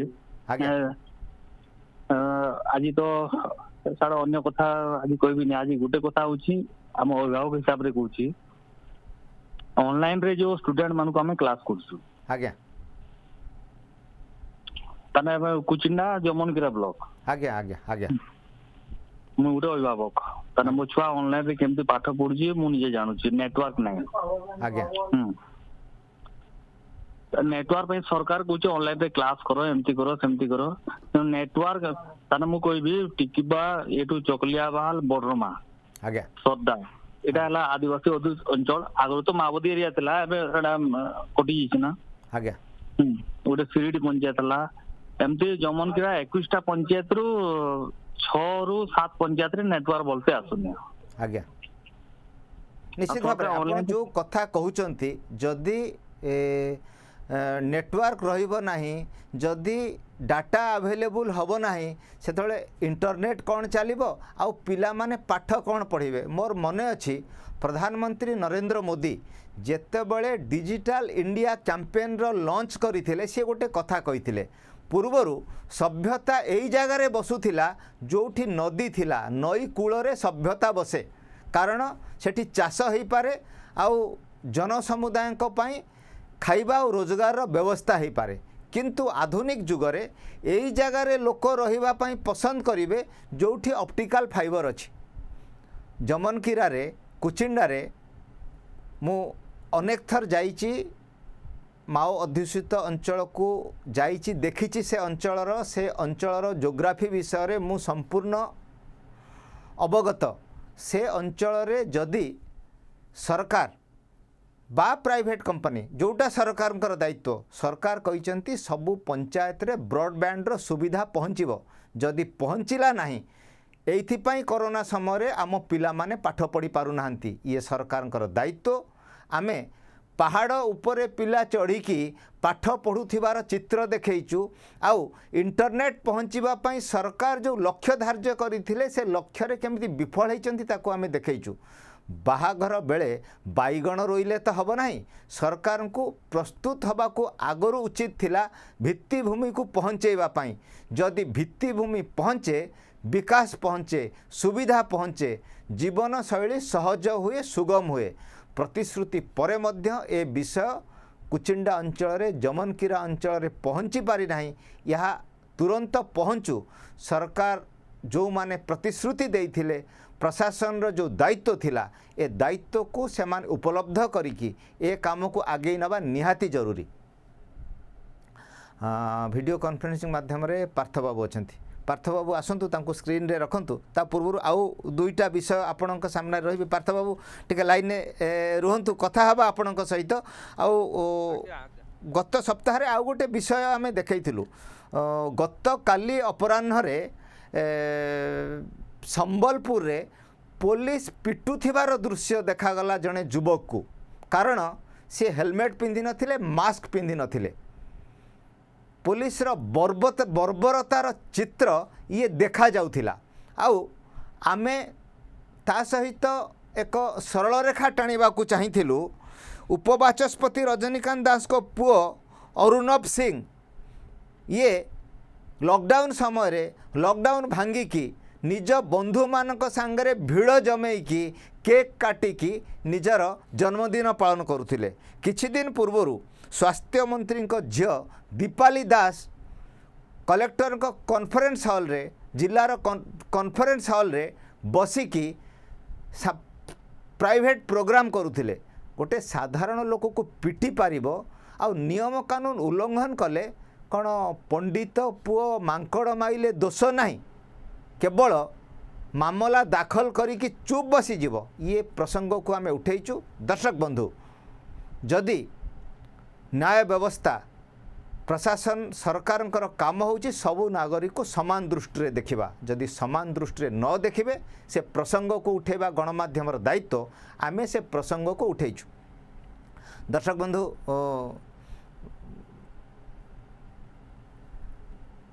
ଆଜ୍ଞା।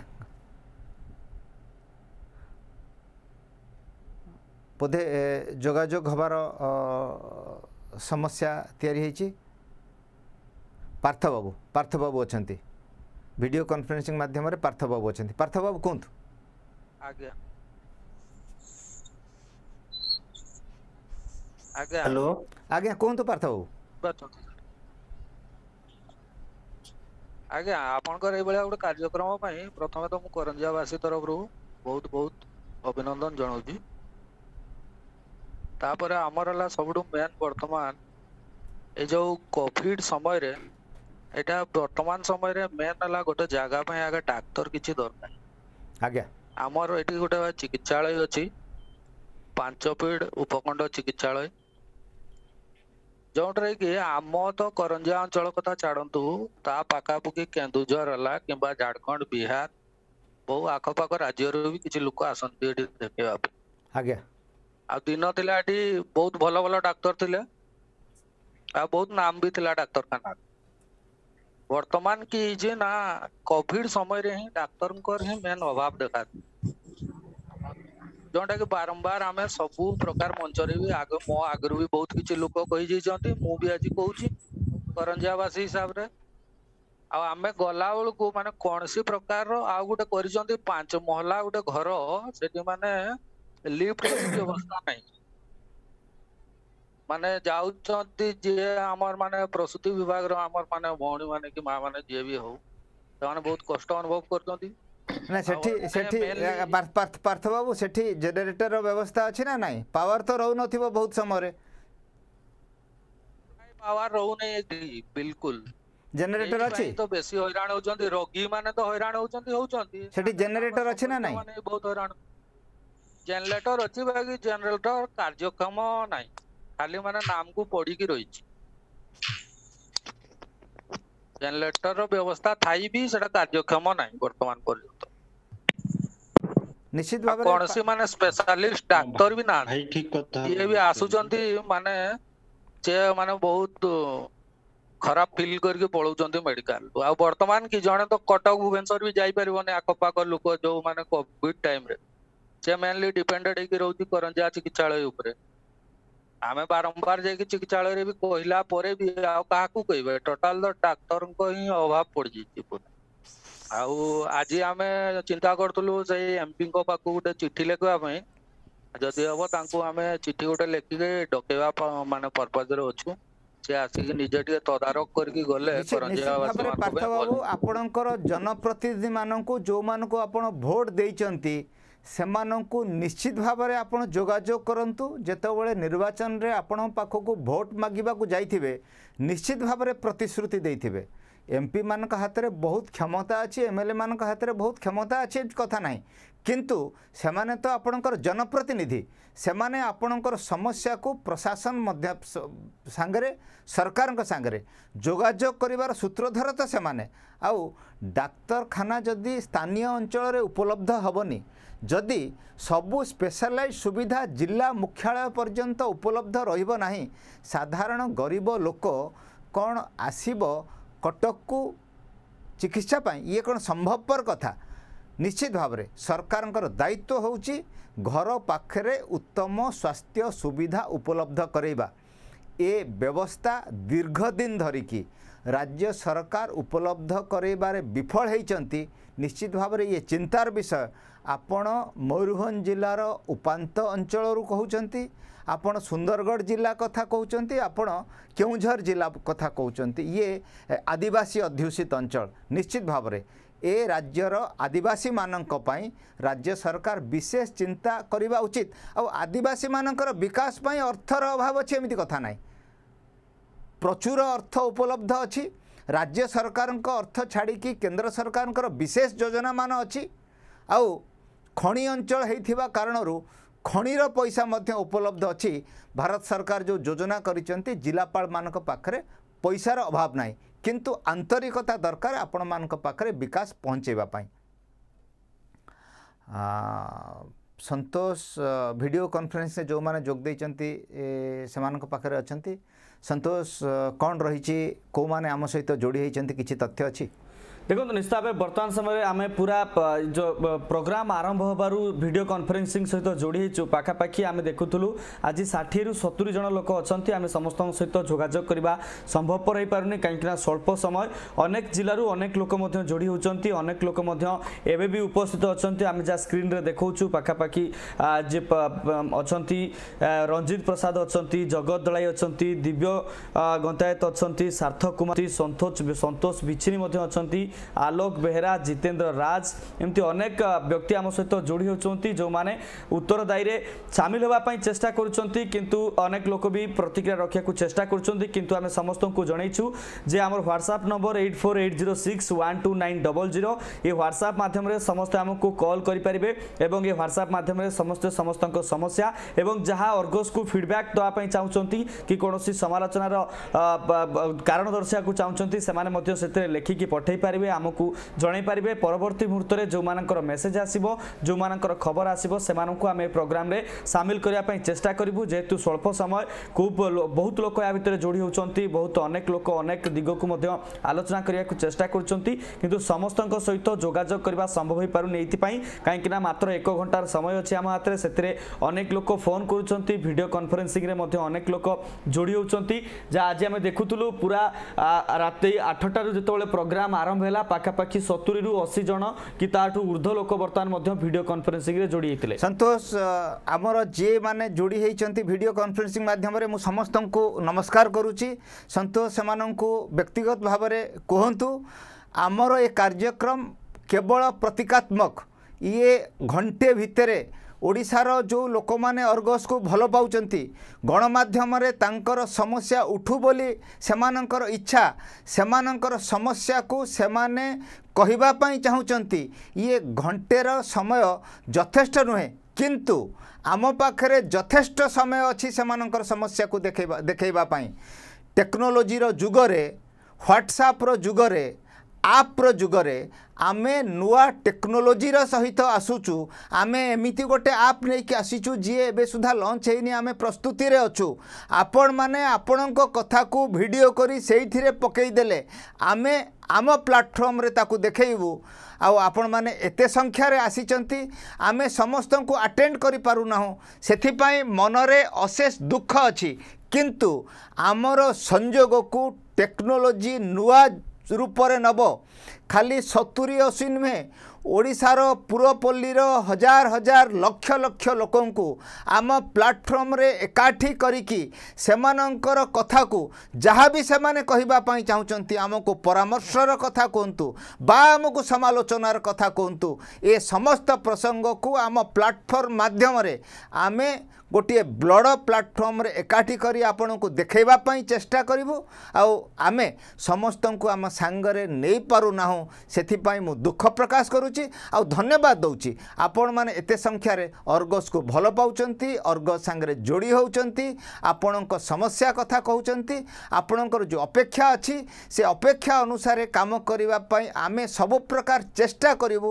ଏ ପ୍ରତିଶ୍ରୁତି ମୁଁ ଦେଉଛି ଓଡ଼ିଶାର ବ୍ଲକ ପର୍ଯ୍ୟନ୍ତ ଆମର ଯେଉଁମାନେ ପ୍ରତିନିଧି ଅଛନ୍ତି ମୁଁ ସେମାନଙ୍କୁ କହୁଛି ସେମାନଙ୍କ ସେମାନଙ୍କ ସହିତ ବ୍ୟକ୍ତିଗତ ଭାବରେ ମଧ୍ୟ ମୁଁ କଥା ହେବି। ସବୁଠୁ ବଡ଼ ହେଲା ସବୁଠୁ ବଡ଼ ହେଲା ଏ ରାଜ୍ୟର ସାଧାରଣ ଜନତା। ତାଙ୍କର ସମସ୍ୟାକୁ ସେମାନଙ୍କର କିଛି ହକ୍ ଅଛି ସେମାନଙ୍କର କିଛି ଅଧିକାର ଅଛି। ଯେତେବେଳେ ସେମାନଙ୍କର ହକ୍ ଆଉ ଅଧିକାର ସେମାନଙ୍କର କହିବାର ଅଭିବ୍ୟକ୍ତିର ସ୍ୱାଧୀନତା ତାଙ୍କର ସୁରକ୍ଷା ଯେତେବେଳେ ବିପନ୍ନ ହେବ ସେଇ ବ୍ୟକ୍ତି ହେଲା ଆମର ଏକ ନମ୍ବର ଖବର। ଆଉ ସେ ବ୍ୟକ୍ତି ସହିତ ଠିଆ ହେଇକି ତାର ଅଧିକାରକୁ ଯିଏ ହତ୍ୟା କଲା ସେ ବ୍ୟକ୍ତିକୁ ସମାଲୋଚନା କରିବା ବିଭିନ୍ନ ସମାଜର ପ୍ରବୃଦ୍ଧ ବର୍ଗକୁ ନେଇକି ବିଭିନ୍ନ ମତକୁ ସେଥିରେ ସମାହିତ କରିବା ଏବଂ ତାଙ୍କର ସମସ୍ୟାକୁ ଉପଯୁକ୍ତ ଫୋରମରେ ଉଠେଇକି ତାକୁ ସମାଧାନ ପର୍ଯ୍ୟନ୍ତ ନେବା ପାଇଁ ଏକ ଛୋଟ ଉଦ୍ୟମ କରିବା ଏ ଆମର ଦାୟିତ୍ୱ। ଆମେ ଏ ଦାୟିତ୍ୱକୁ ପାଳନ କରିବାର ପ୍ରତିଶ୍ରୁତି ଦେଉଛୁ। ବଲାଙ୍ଗୀରରୁ ଅଛନ୍ତି ଜଣେ ଦର୍ଶକ ବନ୍ଧୁ। ହ୍ୟାଲୋ ଆଜ୍ଞା କୁହନ୍ତୁ। ସାର୍ ବଲାଙ୍ଗୀରରେ ସାର୍ ଦେଖନ୍ତୁ ବହୁତ ବହୁତ ଗୁଡ଼ିଏ ଆମ କୋଭିଡ ନାଇଣ୍ଟିନ୍ର ବହୁତ ଗୁଡ଼ିଏ ଦୁର୍ନୀତି ହେଇଛି ହେଲା। ଆଜ୍ଞା। ସାର୍ ବଲାଙ୍ଗୀରରେ ଡାକ୍ତର ଗୁଡାକ ଅଛନ୍ତି ବଲାଙ୍ଗୀର ମେଡିକାଲ ହସ୍ପିଟାଲରେ। ଯୋଉ ପେସେଣ୍ଟ ଡାକ୍ତର ମାନେ ପେସେଣ୍ଟକୁ ଦେଖୁନାହାନ୍ତି। ଆଜ୍ଞା। କାଲି କାଲି କଥା କହୁଛି କାଲି ଗୋଟେ ଆମର ବଲାଙ୍ଗୀର ହାତୀସାରପାଳ ଜଣେ ଲେଡିଜକୁ ମୁଁ ନେଇକି ପାଞ୍ଚ ବଜେ ମେଡିକାଲ ଆଡମିଟ କଲେ। କିନ୍ତୁ କୌଣସି ଡକ୍ଟର ଚେକଅପ୍ କରିନାହାନ୍ତି ତାକୁ ନର୍ସ ଗୁଡାକ ଆମର ସାଇନ୍ ଦେଇକି ତାକୁ ସେଠି ରଖିଲେ ସାର୍। ତାଙ୍କର ସାତଟାରେ ଡେଥ୍ ହେଲା କୌଣସି ଡକ୍ଟର ଯାଇକି ଚେକ୍ କରିନାହାନ୍ତି। ଆଜ୍ଞା। ତ କୋଭିଡ ପାଇଁ କୌଣସି ଡକ୍ଟର ବର୍ତ୍ତମାନ ବି ବଲାଙ୍ଗୀରରେ ଚେକ୍ କରିବା ପାଇଁ ନାରାଜ ଅଛନ୍ତି। ନିଶ୍ଚିତ ଭାବରେ ଇଏ ସମସ୍ୟା ତ ବିଭିନ୍ନ ସ୍ଥାନରେ ଅଛି। ସରକାରୀ ବ୍ୟବସ୍ଥା ଜିଲ୍ଲା ପ୍ରଶାସନ ଜିଲ୍ଲା ସ୍ୱାସ୍ଥ୍ୟ ବିଭାଗ ୟାକୁ ନୋଟ୍କୁ ନେବା ଉଚିତ ଯେ କୋଭିଡ଼ ପେସେଣ୍ଟ ଛାଡ଼ିକି ବି ଅନ୍ୟାନ୍ୟ ରୋଗୀ ମଧ୍ୟ ଅଛନ୍ତି। ସରକାର ନିୟମ କରିଛନ୍ତି ସବୁ ରୋଗୀର ଚିକିତ୍ସା କରାଯିବ।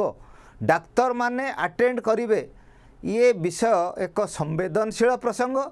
ଆମର ରୋଗୀମାନଙ୍କର ଚିକିତ୍ସା କରିବାର ବ୍ୟବସ୍ଥା ତିଆରି ହେବା ଅତ୍ୟନ୍ତ ଜରୁରୀ। ଜିଲ୍ଲା ପ୍ରଶାସନ ଆଉ ଜିଲ୍ଲାର ସ୍ୱାସ୍ଥ୍ୟ ପ୍ରଶାସନ ବିଶେଷ ଭାବରେ ଏହା ଉପରେ ନଜର ଦେବା ଅତ୍ୟନ୍ତ ଆବଶ୍ୟକ। ଭରତ ଶରଣ ସିଂ ନୟାଗଡ଼ରୁ ଅଛନ୍ତି। ଭରତ ବାବୁ କୁହନ୍ତୁ।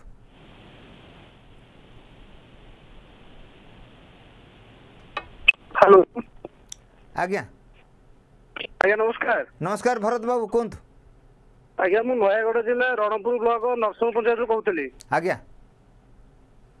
ଆଜ୍ଞା ଆମ ପଞ୍ଚାୟତରେ କିଛି ଦିନ ତଳେ ଚାଉଳ ଦୁର୍ନୀତି ହେଇଥିଲା। ରାସନ କାର୍ଡ ଲୋକ ରାସନ କାର୍ଡ ପାଇ ତାଙ୍କ ଲିଷ୍ଟରେ ନାଁ ଅଛି। କିନ୍ତୁ ସେମାନଙ୍କୁ ରାସନ କାର୍ଡ ନ ଦେଇକି ତାଙ୍କ ଚାଉଳ ଲୁଟୁଥିଲେ। ଆଜ୍ଞା। ଆମେ ଜାଣିବାକୁ ପାଇଲୁ ଆମେ ପ୍ରସନ୍ନ ଭାଇ ସହିତ ଯୋଗାଯୋଗ କଲୁ ଅର୍ଗସ ନ୍ୟୁଜର ଯିଏ ସାମ୍ବାଦିକ ଅଛନ୍ତି ଏଠି। ଆଜ୍ଞା ଆଜ୍ଞା। ତେଣୁ ସିଏ ଆମେ କଥାଟି ଅର୍ଗସ ନ୍ୟୁଜରେ ପ୍ରସାରିତ କଲା ପରେ ଏବେ ଦଶ ବାର ଦିନ ପରେ ଆମେ ନ୍ୟାୟ ପାଇଲୁ। ଆଉ ସେ ଲୋକ ତାଙ୍କ ଚାଉଳ ବି ପାଇଲେ। ଆଜ୍ଞା। ଆଉ ମାନେ ଆଜ୍ଞା ଦେଢଶହରୁ ଦୁଇଶହ କୁଇଣ୍ଟାଲ ଚାଉଳ ଏଠି ହଡପ ହେଇଥିଲା। ଇଏ କେତେ ବର୍ଷ ଧରିକି ଏ ହଡପ ହଉଥିଲା? ଆଜ୍ଞା ତିନି ବର୍ଷ ଧରିକି ହଡପ ହଉଥିଲା। ରଣସିଂ ବାବୁ ସରପଞ୍ଚ ଏଟାର ନିଜେ ସରପଞ୍ଚ ପିଡିଏସ୍ କଥା ବୁଝୁଥିଲେ ବିଏଲଓ କିଛି ବୁଝୁନଥିଲେ ଆଜ୍ଞା। ରଣସିଂ ବାବୁ ଯୋଉ ଚାଉଳ ମୁଣ୍ଡ ପିଛା ପାଞ୍ଚ କିଲୋ କରିକି ମିଳୁଛି ଏଇ ଯୋଉ କରୋନା ସମୟରେ ମାସକୁ ଆଉ ପାଞ୍ଚ କିଲେ ଛଅ ମାସ ପାଇଁ କେନ୍ଦ୍ର ସରକାରଙ୍କ ତରଫରୁ ଶୂନ ପଇସାରେ ଦିଆଯାଉଛି ଇଏ ଏ ଦେଶର ଲୋକମାନଙ୍କର ଝାଳ ବୁହା ପଇସା କେଉଁ ସରକାର ଦୟାକରି ଦେଉନି। ଯେଉଁମାନେ ମାଲିକ ତାଙ୍କ ପାଖରେ ଚାଉଳ ପହଞ୍ଚୁଛି ଯେଉଁମାନେ ଗରିବ ତାଙ୍କ ପାଖରେ ଚାଉଳ ପହଞ୍ଚୁଛି। ଚାଉଳ ପହଞ୍ଚେଇ ଦେଲେ କେଉଁ ଦୟା କଲେନି। ଆମେ ଆମ ଦାୟିତ୍ୱ କରିଲୁ ଖବର ଦେଖେଇଲୁ। ଚାଉଳ ପହଞ୍ଚିଲା କିନ୍ତୁ ଯେଉଁ N F S A card ଯେବେଠୁ ହେଲାଣି ସେ ପର୍ଯ୍ୟନ୍ତ ତାଙ୍କ କାର୍ଡ଼କୁ ହଡ଼ପ କରିକି ରଖିକି ଯେଉଁମାନେ ତାଙ୍କୁ ଚାଉଳ ଯୋଗାଇ ଦେଉନଥିଲେ ତାଙ୍କ ବିରୁଦ୍ଧରେ ଦୃଢ଼ କାର୍ଯ୍ୟାନୁଷ୍ଠାନ ନିଆଯିବା ଉଚିତ। ଦୁଃଖ ଆଉ ବିଡ଼ମ୍ବନାର କଥା। ଆମେ ଏମିତି ଅନେକ ମାମଲା ସାମ୍ନାକୁ ଆଣିଛୁ। ସେ କିରୋସିନର ପ୍ରସଙ୍ଗ ହେଉ ସେ ଚାଉଳର ପ୍ରସଙ୍ଗ ହେଉ। ଏଇ ଯେଉଁ ଟଙ୍କା ଯେଉଁ ଅଭିଯୋଗ ହେଉଛି ଯେଉଁ ଅଫିସରମାନେ ଅଛନ୍ତି ଯେଉଁ ତଳସ୍ତରର ଜନପ୍ରତିନିଧିମାନେ ଅଛନ୍ତି ଏମାନେ ଯଦି ସଲାସୁତୁରା କରିକି ହଡ଼ପ କରିବେ ନିଶ୍ଚିତ ଭାବରେ ନିନ୍ଦନୀୟ ବିଷୟ ଏ ବିଷୟକୁ ଆମେ ଆପଣଙ୍କ ପାଖକୁ ଆଉଥରେ ଯିବୁ ଆଉ ଯେଉଁମାନଙ୍କୁ ଚାଉଳ ମିଳିଲା ସେମାନଙ୍କର ଖୁସି ତ ଦେଖେଇବୁ କିନ୍ତୁ ଦୀର୍ଘ ଦିନର ଯେଉଁ ତାଙ୍କର ଅଧିକାରକୁ ହଡ଼ପ କରାଯାଇଛି ଆଉ ଯେଉଁମାନେ ହଡ଼ପ କଲେ ତାଙ୍କୁ ଆଉଥରେ ଏକ୍ସପୋଜ୍ କରିବୁ ଆଉ ତାଙ୍କ ବିରୁଦ୍ଧରେ ଦୃଢ଼ କାର୍ଯ୍ୟାନୁଷ୍ଠାନ କରିବା ପାଇଁ ଆପଣମାନେ ମଧ୍ୟ ସ୍ଥାନୀୟ ସ୍ତରରେ ଦାବି ଉଠାନ୍ତୁ। ଜୁମ୍ରେ ବ୍ରଜମୋହନ ବାବୁ ଅଛନ୍ତି। ବ୍ରଜମୋହନ ବାବୁ କୁହନ୍ତୁ। ଆଜ୍ଞା ନମ- ଆଜ୍ଞା ନମସ୍କାର। ନମସ୍କାର ବ୍ରଜମୋହନ ବାବୁ କୁହନ୍ତୁ। ଆଜ୍ଞା ମୁଁ ମୟୂରଭଞ୍ଜ ଜିଲ୍ଲା ବେତନଟି ବ୍ଲକରୁ କହୁଛୁ। ଆଜ୍ଞା ଆଜ୍ଞା। ଆପଣଙ୍କର ବିଗତ ମାସ ଯେ କୋଡିଏ ତାରିଖ ଜାଣିଥିବେ ଆପଣଙ୍କ ନ୍ୟୁଜ ଚ୍ୟାନେଲ ବି ପ୍ରସାର କରିଥିଲା। ବେତନଟି ତହସିଲଦାରର ମାଫିଆ ମାନଙ୍କ ସହିତ ଟଙ୍କାର ମୁରୁମ ଗାଡି ଛାଡିବାର ଟଙ୍କା ଆଜ୍ଞା। ଲକ୍ଷ ଟଙ୍କା ଡିଲ୍ ତାହା ଆପଣ ମାନେ ଦେଖିଛନ୍ତି ଆଜ୍ଞା ସେଇ ସେ ବିଷୟ ବି ସବୁ ଗଣମାଧ୍ୟମ ଗଲା ପ୍ରିଣ୍ଟ ମିଡିଆ ଆପଣଙ୍କର ଇଲେକ୍ଟ୍ରୋନିକ ମିଡିଆ ସବୁରେ ପ୍ରଚାର ହେଲା ତାପରେ ସେ କଥା ଦେଖନ୍ତୁ ପ୍ରଶାସନ ସେଭଳିଆ ତହସିଲଦାରଙ୍କ ବିରୁଦ୍ଧରେ ଖାଲି ଗୋଟେ କେସ୍ ରୁଜୁ କଲା ତହସିଲଦାରକୁ କୌଣସି ଆରେଷ୍ଟ କଲାନି ଯାହାଫଳରେ ତହସିଲଦାର ଆଜି କୁ- କିଛି ଦିନ ପରେ ତାକୁ ଯେତେବେଳେ ବ- ରାଜନୈତିକ ଏମଏଲଏ ମାନେ ଯାଇକି ଥାନାରେ ଧାରଣା ଦେଲେ ତାପରେ ତହସିଲଦାରକୁ ଆଜ୍ଞା ସସ୍ପେଣ୍ଡ କରାଗଲା। ଆଜ୍ଞା ଆଜ୍ଞା। କାହିଁକି ତହସିଲଦାରକୁ ଆଜି ପର୍ଯ୍ୟନ୍ତ ଆରେଷ୍ଟ ହେଲା ନାହିଁ। ସିଏ କଥା ଗଲା ଆପଣଙ୍କୁ ଫେର ଯେତେବେଳେ ବି- ଅ, ଆପଣଙ୍କର ଧାରଣା ବସିଲେ ସବୁ ଅ, ଚାଲିଲା। ତାପରେ ତହସିଲଦାରଙ୍କ ଏବେ କ୍ରାଇମ ବ୍ରାଞ୍ଚ ତଦନ୍ତକୁ ଗଲା। କିନ୍ତୁ ଆଜି ପର୍ଯ୍ୟନ୍ତ ତହସିଲଦାରକୁ ଆରେଷ୍ଟ ହେଲାନି ତଦନ୍ତ ଚାଲିଲା ନିଶ୍ଚିତ ଭାବରେ ଆମେ ଆମେ ସେ ଯେଉଁ ଅନିଶା ଦାସଙ୍କର କଥାକୁ ଦେଖେଇଛୁ ଆଉ ପ୍ରଶାସନର ଦାୟିତ୍ୱ ସରକାରଙ୍କର ଦାୟିତ୍ୱ ଯିଏ ଲଘୁ ଖଣିଜ ଦ୍ରବ୍ୟକୁ ଲୁଟ୍ କରିବା ପାଇଁ ବାଲି ମାଫିଆମାନଙ୍କୁ ଦେଇକି ପଇସା ଚାନ୍ଦା ଆଦାୟ କରୁଛି ତାଙ୍କୁ ନିଲମ୍ବନ ଏକ ଦଣ୍ଡ ନୁହେଁ। ଜଣେ ପ୍ରଶାସନିକ ଅଧିକାରୀ ଯଦି ତାଙ୍କର ଭଏସ୍ ସ୍ପଷ୍ଟ ଅଛି। ଆଉ ଧରା ପଡ଼ିଛନ୍ତି ରଙ୍ଗେ ହାତ। ତାଙ୍କୁ ନିଲମ୍ବନ ଏକ ଦଣ୍ଡ ନୁହେଁ ସରକାର ପ୍ରଶାସନ। ଆକୁ ଗୁରୁତ୍ୱର ସହିତ ନେବା ଉଚିତ। ଆଉ ଏମିତି ଭାବିବା ଉଚିତ ନୁହେଁ ଯେ ସରକାରଙ୍କର ପଇସାକୁ ହଡ଼ପ କରୁଥିବା ଲୋକକୁ ଯଦି ଆପଣ ସୁରକ୍ଷା ଦେବେ ଆପଣମାନଙ୍କୁ ମଧ୍ୟ ନିନ୍ଦିତ କରାଯାଇପାରିବ। ଆପଣଙ୍କର ମୁଖାକୁ ଖୋଲାଯାଇପାରିବ ଏ ପ୍ରକ୍ରିୟା ଗଣମାଧ୍ୟମର ଦାୟିତ୍ୱ। ଅର୍ଗସ୍ ଗୋଟେ ଛୋଟ ଗଣମାଧ୍ୟମ ଭାବରେ ଏ ଦାୟିତ୍ୱକୁ ତୁଲେଇବ। ନିତ୍ୟାନନ୍ଦ ବାବୁ ଫୋନ୍ ଲାଇନ୍ରେ ଅଛନ୍ତି। ସାର୍ ଆଜ୍ଞା। କୁହନ୍ତୁ ନିତ୍ୟାନନ୍ଦ ବାବୁ। ସାର୍ ଦେଖନ୍ତୁ ଭ- ମୁଁ ଭଦ୍ରକ ଜିଲ୍ଲା ଚାନ୍ଦବାଲି ବ୍ଲକ ରୁ କହୁଥିଲି। ସାର୍ ମୋ ଏରିଆରେ ପ୍ରାୟତଃ କହିବାକୁ ଗଲେ ଗାଁ ଗହଳିରେ କିମ୍ବା ରାସ୍ତାଟିଏ ନାହିଁ କିମ୍ବା ଚାରି ଚକିଆ ଯାନ କହିବାକୁ ଗଲେ ଶହେ ଆଠ ଆମ୍ବୁଲାନ୍ସ କୁହନ୍ତୁ କିମ୍ବା ଆ, ଦମକଳ ଗାଡି କୁହନ୍ତୁ ଫାୟାର ଗାଡି ଏପର୍ଯ୍ୟନ୍ତ ଆମର ସେ ଯୋଉ ଭଦ୍ରକ ଜିଲ୍ଲା ଚାନ୍ଦବାଲି ବ୍ଲକ ନଳଗୋହରିଆ ପଞ୍ଚାୟତ ନୂଆ ଗାଁର ସମସ୍ୟା ବାରମ୍ବାର ଗଣ ସମସ୍ତ ଗଣମାଧ୍ୟମରେ ଇଲେକ୍ଟ୍ରିକ ମିଡିଆ କୁହନ୍ତୁ ପ୍ରିଣ୍ଟ ମିଡିଆ କୁହନ୍ତୁ ସମସ୍ତ ମିଡିଆରେ ପ୍ରଶାସନ ପ୍ରସାରଣ ସରିଲା ପରେ ବି ଏପର୍ଯ୍ୟନ୍ତ କୌଣସି ଏ, ସରକାରୀ ବାବୁ ଆସି ସେ ରାସ୍ତାଟି ଦେଖୁନାହାନ୍ତି ବି ଏ, ଏବେ ନିଶ୍ଚିତ ନିଶ୍ଚିତ ନିଶ୍ଚିତ ନିତ୍ୟା- ନିତ୍ୟାନନ୍ଦ ବାବୁ ଯେତେବେଳେ ବର୍ଷା ଦିନ ହୁଏ ଆମର ମହିଳାମାନେ ଅଟୋରେ ଖଟରେ ବେତେ ବୁହା ହେବାର ଚିତ୍ର ଗଣମାଧ୍ୟମକୁ ଆସେ। ଇଏ ପ୍ରସଙ୍ଗ କାହିଁକି ଭିତ୍ତିଭୂମି ତିଆରି ହେଇପାରୁନାହିଁ? ସବୁ ଗାଁକୁ ଫେୟାର ୱେଦର ରାସ୍ତା ଯାଇପାରୁନାହିଁ। ଯେଉଁମାନେ ବ୍ୟବସ୍ଥାର ଦାୟିତ୍ୱରେ ଅଛନ୍ତି ସେଇ ମାଆକୁ ଏ ଉତ୍ତର ଦେବା ଉଚିତ। ଯେଉଁ ମା ଷ୍ଟ୍ରେଚରରେ ଖଟିଆରେ ବୁହା ହେଇକି ଯାଉଛି। ଏ ରାଜ୍ୟର ମା ଭଉଣୀଙ୍କର ଇଜ୍ଜତ ଅଛି।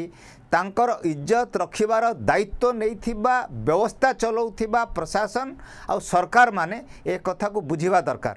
ଦର୍ଶକ ବନ୍ଧୁ ସମୟ ତ ଶେଷରେ ପହଞ୍ଚିଲେଣି ବିଦାୟ ନେବାକୁ ପଡ଼ିବ। ମୁଁ ଆଜି ଆପଣଙ୍କୁ ହିସାବ ସଠିକ୍ ଭାବରେ ଦେଇପାରିଲିନି କିଛି ପ୍ରସଙ୍ଗ କହିଲି କିନ୍ତୁ ଯିବା ବେଳେ ଗୋଟିଏ କଥା ଟିକେ ପଢ଼ି ଦେଇ ଯିବାକୁ ଚାହୁଁଛି।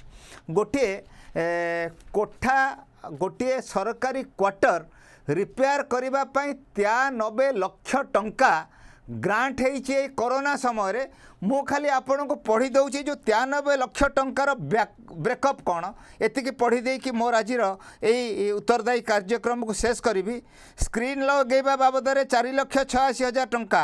ସୋଫା କାଠ ଚେୟାର ଓ ଟେବୁଲ୍ ପାଇଁ ଚାରି ଲକ୍ଷ ଚାରି ଲକ୍ଷ ଚଉବନ ହଜାର ଟଙ୍କା।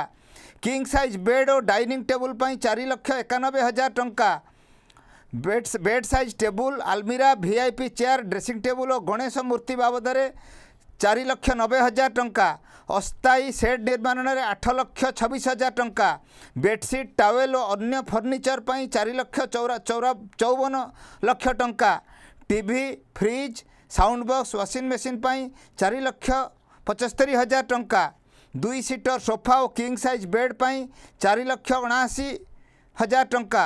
ରୋଷେଇ ଘର ସରଞ୍ଜାମ ହିଟର ପ୍ରେସର କୁକର ପାଇଁ ଦୁଇ ଲକ୍ଷ ଅଣଚାଳିଶ ହଜାର ଟଙ୍କା। ବିଦ୍ୟୁତକରଣ ନାଁରେ ନଅ ଲକ୍ଷ ଛୟାନବେ ହଜାର ଟଙ୍କା। ଲନ୍ରେ ଲାଇଟ୍ ବ୍ୟବସ୍ଥା ପାଇଁ ଚାରି ଲକ୍ଷ ଅଠାନବେ ହଜାର ଟଙ୍କା। ଏସି ପାଇଁ ଚାରି ଲକ୍ଷ ଅଠାଅଶୀ ହଜାର ଟଙ୍କା। ଦର୍ଶକ ବନ୍ଧୁ ଯେଉଁମାନେ ଆମେ ମଧ୍ୟବିତ୍ତ ପରିବାରରୁ ଆସିଛୁ ଯେଉଁମାନେ ଗରିବ ପରିବାରରୁ ଆସିଛୁ ଏ ତାଲିକାକୁ ଦେଖିଲେ ଗୋଟିଏ ସରକାରୀ କ୍ୱାର୍ଟର ଘର ଅଛି। ତାକୁ ସଜେଇବା ପାଇଁ ଯଦି ତେୟାନବେ ଲକ୍ଷ ଟଙ୍କା ଖର୍ଚ୍ଚ ହୁଏ ଆଉ ବେଡ଼ସିଟ୍ ଟାୱେଲ୍ ପାଇଁ ବି ଚାରି ଲକ୍ଷ ଟଙ୍କା ଖର୍ଚ୍ଚ ହୁଏ ଓଡ଼ିଶାର ଗରିବୀକୁ ଯେଉଁ ଉପହାସ କରାଯାଉଛି ତା'ର ମାତ୍ରା ମଧ୍ୟ ଆମେ ବୁଝିବେ। ଆଉ କୋଭିଡ଼ ସମୟରେ କାହିଁକି ତେୟାନବେ ଲକ୍ଷ ଟଙ୍କା ଗ୍ରାଣ୍ଟ କରାଗଲା ସରକାର ମନା କରିବା ପରେ ବି? ସେ ବିଷୟ ମଧ୍ୟ ଚିନ୍ତାର ବିଷୟ। ଦର୍ଶକ ବନ୍ଧୁ ଆପଣଙ୍କଠୁ ମୁଁ ବିଦାୟ ନେଉଛି। ପୁଣି ଆସନ୍ତା ସପ୍ତାହରେ ଆସିବି। ମାତ୍ର ମୋର ପ୍ରତୀକାତ୍ମକ ଉପସ୍ଥିତି ଯଥେଷ୍ଟ ନୁହେଁ ଇଏ ପ୍ରତୀକାତ୍ମକ ହେବ। କିନ୍ତୁ ଅର୍ଗସ୍ ସାଙ୍ଗରେ ଯୋଡ଼ି ହୁଅନ୍ତୁ ଅର୍ଗସ୍ର ଟେକ୍ନୋଲୋଜି ପ୍ଲାଟଫର୍ମ ସହିତ ଯୋଡ଼ି ହୁଅନ୍ତୁ। ଆପଣଙ୍କ ମୋବାଇଲ ଆପଣଙ୍କ ଅସ୍ତ୍ର ସାଜିଛି ଧନୀ ଗରିବର ପ୍ରଭେଦ ଦୂର କରିଛି। ଏଇ ଯେଉଁ ସମାନ ମଞ୍ଚ ଉପରେ ଆମେ ସମସ୍ତେ ଏକାଠି ହେବା ଆଉ ଆପଣଙ୍କ ସ୍ୱାର୍ଥ ଆଉ ସଂଘର୍ଷକୁ ଆମେ ଆମ ଆମ ସ୍କ୍ରିନ୍ରେ ସ୍ଥାନ ଦେବୁ ଏ ପ୍ରତିଶ୍ରୁତି ସହିତ ମୁଁ ଆପଣଙ୍କଠୁ ବିଦାୟ ନେଉଛି। ନମସ୍କାର ଦର୍ଶକ ବନ୍ଧୁ।